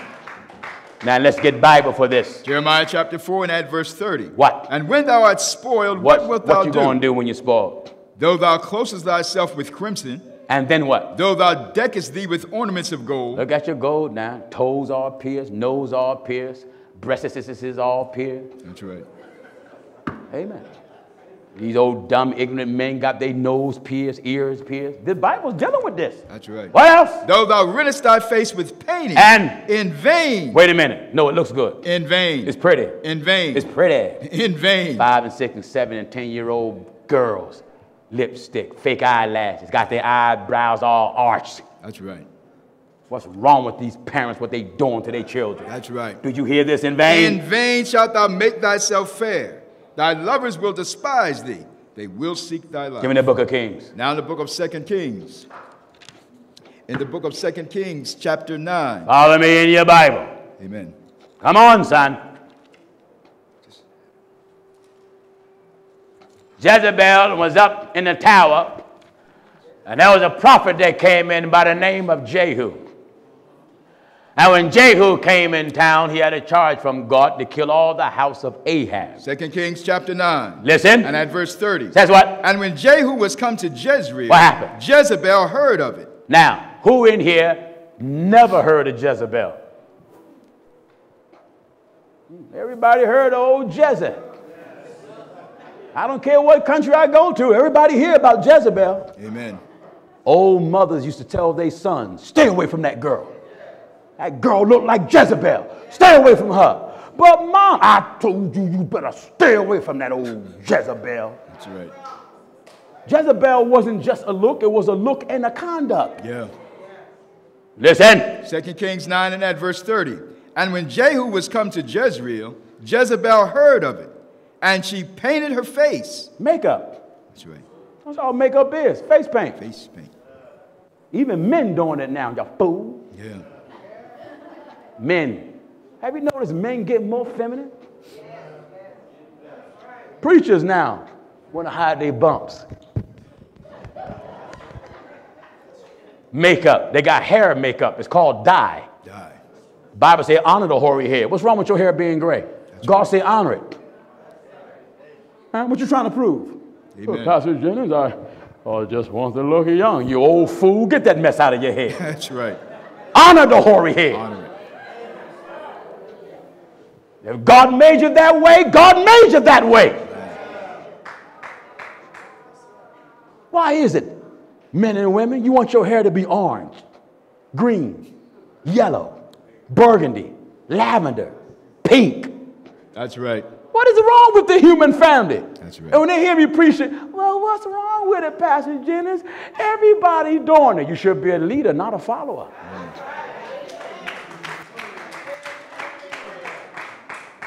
My young men, you want your hair long like women? Ain't no man should be walking around. No man. Ain't no man should be doing that No. a man bun. Ain't no man should have a ball on his head and a rubber band around his wife bobby pins. That's right. What's wrong with these men? That's the right. Bible says it's a shame Man, for a man to have long hair. long hair. When you don't know, you don't know, but it's my job to feed the church of God. That's right. Hear me?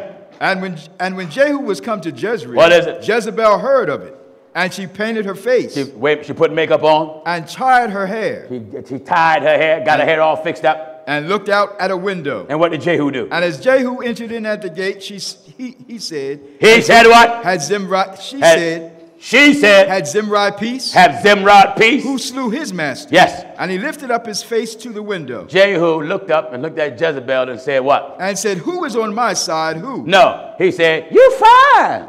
Who is on my side? Who? No. Jehu said, Ooh, girl, look at you. And said, Who is on my side? Who? What else did Jehu say? And there looked out to him two or three eunuchs. And what did he say? And he said, Throw her down. Throw her out the window. So they threw her down. That's what I want to do with your makeup kit. Throw it down. Throw her down. Love the way God made you. That's it. Whatever complexion God gave you, love it. That's love right. the hair God made you. Don't go to Walgreens, don't go to Walmart, don't go to Rite Aid, don't go to Amazon ordering you somebody else's hair. Yeah. And then you can't even scratch your head.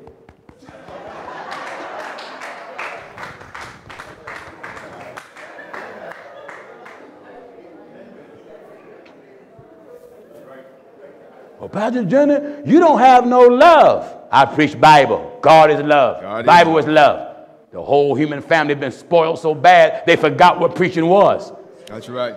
They think preaching is, ain't the Lord good? Aha. What goes up aha, must come down. Aha. Mm, aha. They ain't preaching, that's noise. That's right.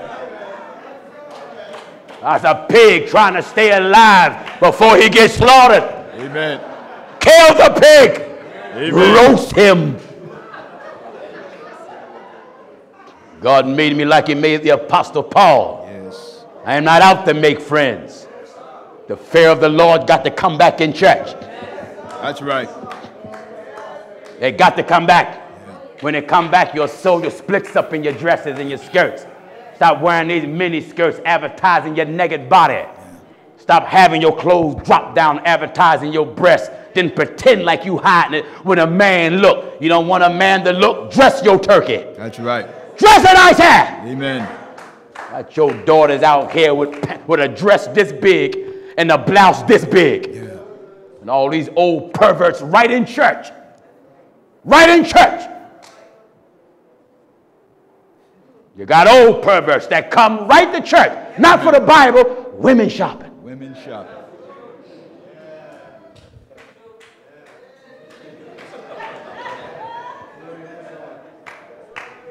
Dresses and skirts no shorter than my jacket, and you up there trying to shout.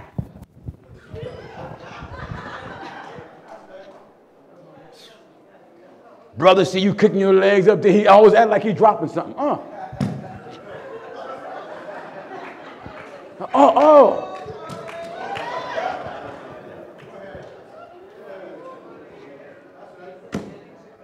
Are you listening to the old man? Amen. Bahamas. The Lord wiped out Freeport. And the Lord wiped out some of your other islands. The Lord proved to you you don't own nothing. That's right. Your house ain't yours. Your car ain't yours. Your mama, your daddy, your children ain't yours.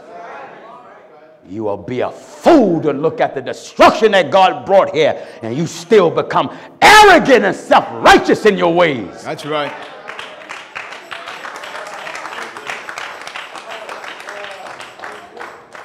He's burning down California now. Yeah. California is burning. Millionaires' mansions are burning. You see, God don't care if you're rich or poor. Nigga, you came in the world. Nigga, you shall return. You judge. Whose side you gonna be on today? That's right. The Lord's side or the side of your bishop? If you're gonna be on the Lord's side, you're gonna have to come back to scriptures. Let's close out with Acts 2:38. Acts chapter 2 and verse 38. Follow me. Then Peter said unto them, Repent. If you claim you're a Christian and you haven't been born again, like what he about to read, you're not saved. If you bow your head and raise your hands and was told to accept Christ as your personal Savior, you've never been saved. If you prayed a sinner's prayer and the preacher said, anybody want to be saved, come on up, hold the preacher's hand, and there's a few elders, and you hold their hand, and they repeat a sinner's prayer, Lord Jesus, I'm a sinner, wash me, cleanse me, white as snow, come into my heart, and then the liar tell you, I'm saved, my friend. You're not saved. There ain't no sinner's prayer in the Bible. Well, Pastor Jim, I went to a Catholic church and the priest put water on me. Once you throw it on you, throw it back on him. Amen. Bible ain't tell you be sprinkled by some priest. No. Well, I was baptized Father, Son, and Holy Ghost. The Bible never said be baptized Father, Son, and Holy Ghost. The Bible said be baptized in the name of the Father, Son, and Holy Ghost. I'm a son, I'm a husband, I'm a father. But if I tell you do something in my name, you're not going to say son, husband, and father. You're going to call the name Jennings. The name of the Father, Son, and Holy Ghost is Jesus, and He's the Christ. He's the Christ. Matthew 28 19 was fulfilled in Acts 2 38 when the Bible spoke plain. Then Peter said unto them, Repent. All right, Bahamas. This is what you got to do from pulpit down. Repent. You got to get be sorry about your wrong. You got to have a repentant heart. Feel guilty. Yeah. Repentance is not just getting up saying, I'm sorry. When a person's truly repentant, their heart is convicted. That's right. You feel that conviction in your heart about your wrong. Amen. What is it? Repent and be baptized. Who? Every one of you. How? In the name of Jesus Christ. How much of the Bahamas got to do it? Every one of you. And how must it be done? In the name of Jesus Christ. For what? For the remission of sins. Remission mean removing. That's how you get your sins washed away, Mr. and Miss Thing. Mm-hmm. And the Bible said, You shall receive. And you shall receive the gift of the Holy Ghost. For the Ghost. promises unto you and to your children and to them that are far off, even as many the Lord our God shall call. And with many other words. Did he testify and exhort, saying, What shall we do? Save yourselves. No, wait on your husband. Save yourselves. No, wait and see what your pastor going to say. Save yourselves. How much? From this untoward generation. Save How many here want to burn in hell? Let me see you. Oh, nobody want to go to hell? Some folks say, Ain't no church ever asked me that. Well, I just want to know. Amen. You don't want to go to hell? Nobody don't want to go to hell? Come on. You mean to tell me you got your second wives and second husband and you don't want to go to hell over it?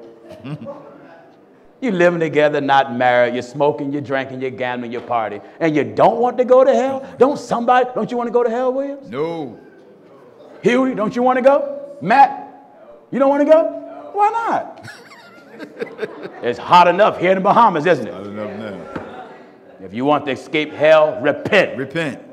Don't waste your time and get angry with me. I brought you what's in that Bible. Yes, you did. You got to come up to it. That's right. Is it truth? Yes. Many people would do better if someone would have told them is enough to make you angry when you find out these preachers been lying and playing with you and plucking your pocketbook for years. A lot of them know this stuff is in the Bible, but they don't want to offend you. I'd rather offend you than offend God. That's right. Repent of your sins. Anybody want to be right today? And want to be baptized in the name of Jesus Christ according to the Bible? Stand on your feet if you want to be right with God. Stand on your feet if you want to be baptized the right way. Right way. Come on. Wonderful. Sister, sister that are standing, go right to the back, to that sister right back there. All right. We thank God for you. Let this word sink in your heart, sink in your ears, because you will never get away from it. All right, we're going to turn the service back in the hands of Bishop Ferguson.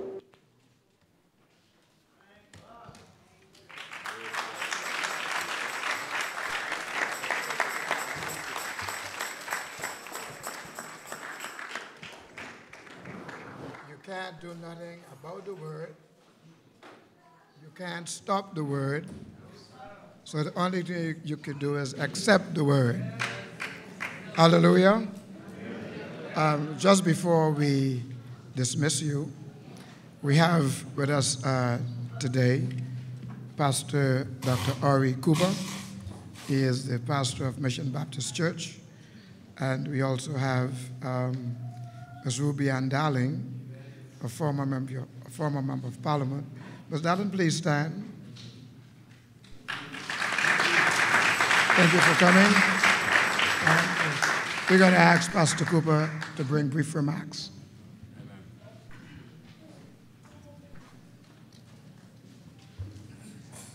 Thank you, Pastor Humphrey Ferguson, for allowing us to greet you today in the name of our Lord and Savior Jesus Christ. We are grateful to our visiting leader who has fed us immensely, immensely with uh, the Word of God.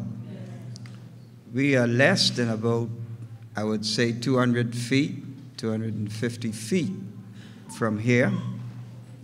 And I deemed it that we should not be too close and not to be nourished with such a special messenger. And so I want to extend our heartfelt uh, welcome to you, sir, Thank God for you, sir. to the Bahamas.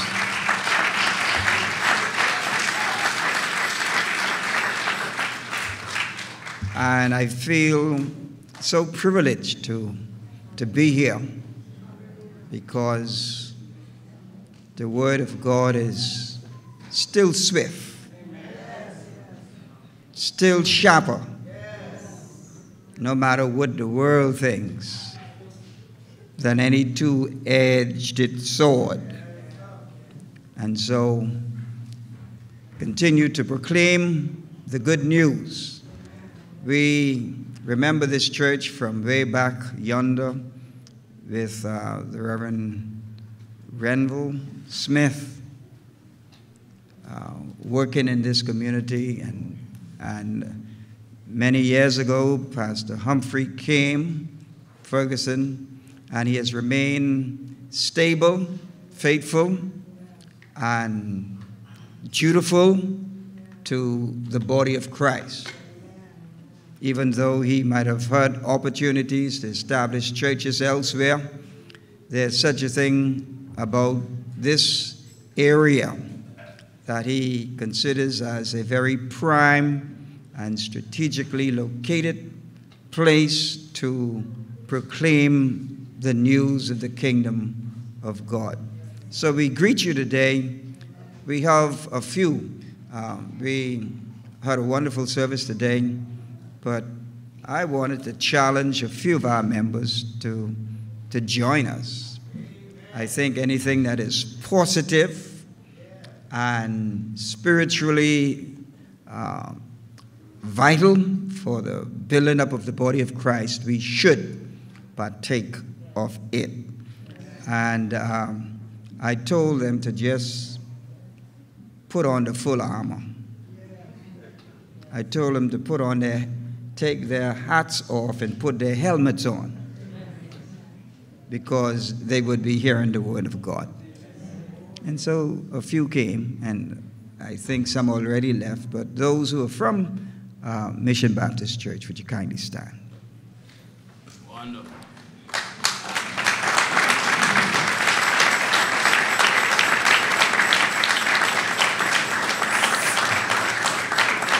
And if you have gotten the message, and if the message has hit your souls, would you sit down? Amen. So, lastly, I just want to share the need with you for us to always work together. And I could not allow this opportunity to pass without coming to pay my respect to Pastor Ferguson and to thank him for the great work that he is doing in our community.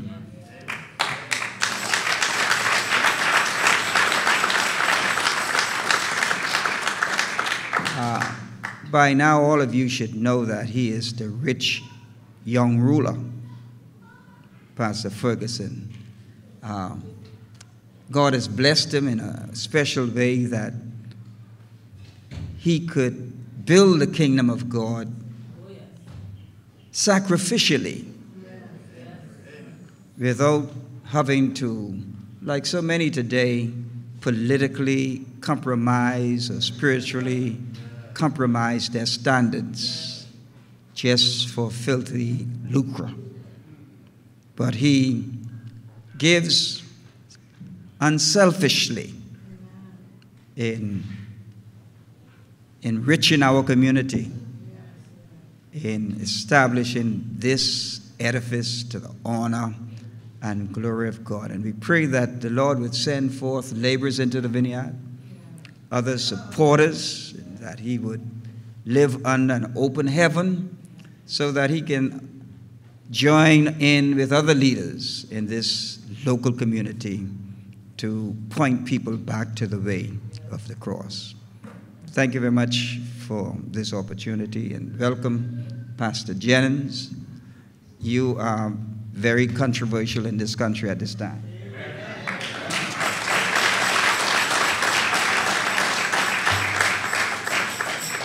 I came to know of what's taken place this week because I am a part of the Christian Council.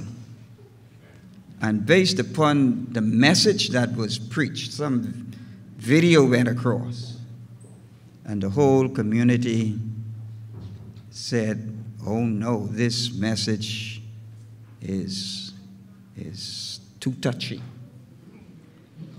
But I have come to validate the fact that in this place, in this location today, we do have a man of God. And I, I,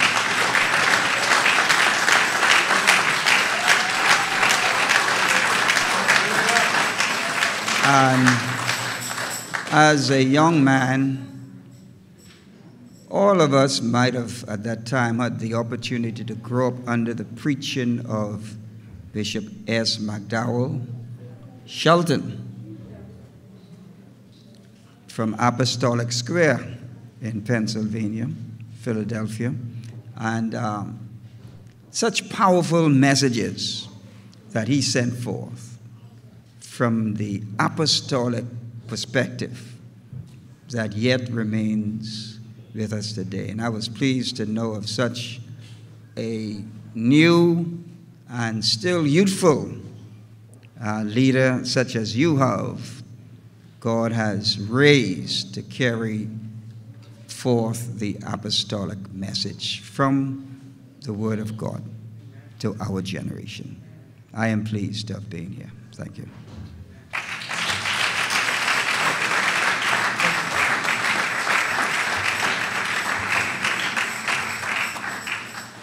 Yes, um, Pastor Cooper, his father, and I were very good friends.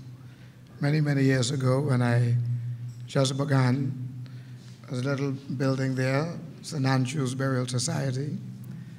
And his father told me that that's where mission started many, many years ago. And every now and again, his father will stop and we will have a good conversation. And he allowed me to know that that's where mission started in the same building where we came from. Our theme for this conference is that we uh, must um, keep the standard, stand our ground.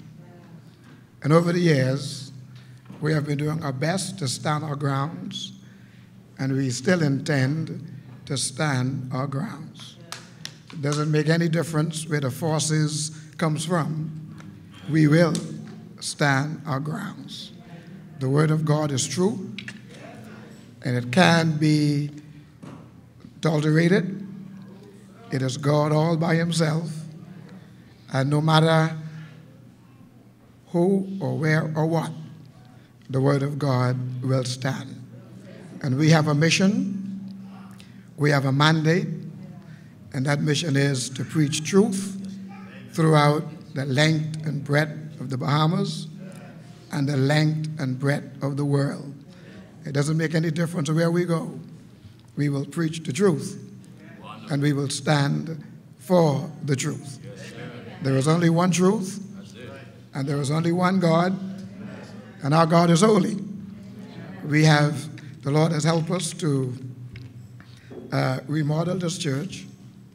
And I recall when things were tough. As a matter of fact, I spoke about it maybe two or three weeks ago at the other church.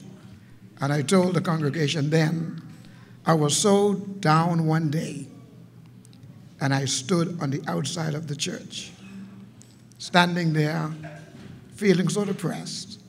I saw a white car coming down the street. I thought it was my son, but it was Sister Ruby and Allen. She stopped there and she said to me, Pastor Ferguson, you're doing a good job. And I looked at her and I said, um, You don't know how discouraged I am. That's what I was thinking. But then she turned around and she read the sign on the church. The sign says, A mission, a church with a mission in its heart. And she pulled off. And I turned around and I read the sign. And I remember the morning when that thought came to me that this will be a church with missions in its heart. And I was so encouraged. And to see her stepping into service to, uh, this, a while ago, I was certainly pleased that uh, you're here with us today. And everyone from Mission, we are glad to have you. And we are happy, uh, Pastor, that the Christian Council, I'm glad that you represent them. I'm glad about that. But tell them for us that we intend to stand for the truth. We intend to preach the word. Under any circumstances, tell them we will stand our grounds. We are not, we will not deviate, we will not bend, we will not go back and front, but we will stand firm, firm on the word of God. Because after all, when everything goes down, the word of God will stand forever.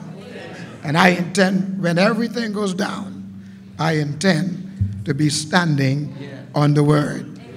Praise God. So we're happy for every one of you in the service today. And I know it's running late. Service begins. Uh, we will begin service this evening at 7:30 because I know you have to go out and return. And so we're happy for every one of you. Now, those of you who got baptized uh, during this week, on Wednesday, we would like to meet with all of the newly converts on Wednesday evening right here at 7.30. Let everyone stand. Praise God. It's so sweet to trust in Jesus, just to take and by his blood just to rest.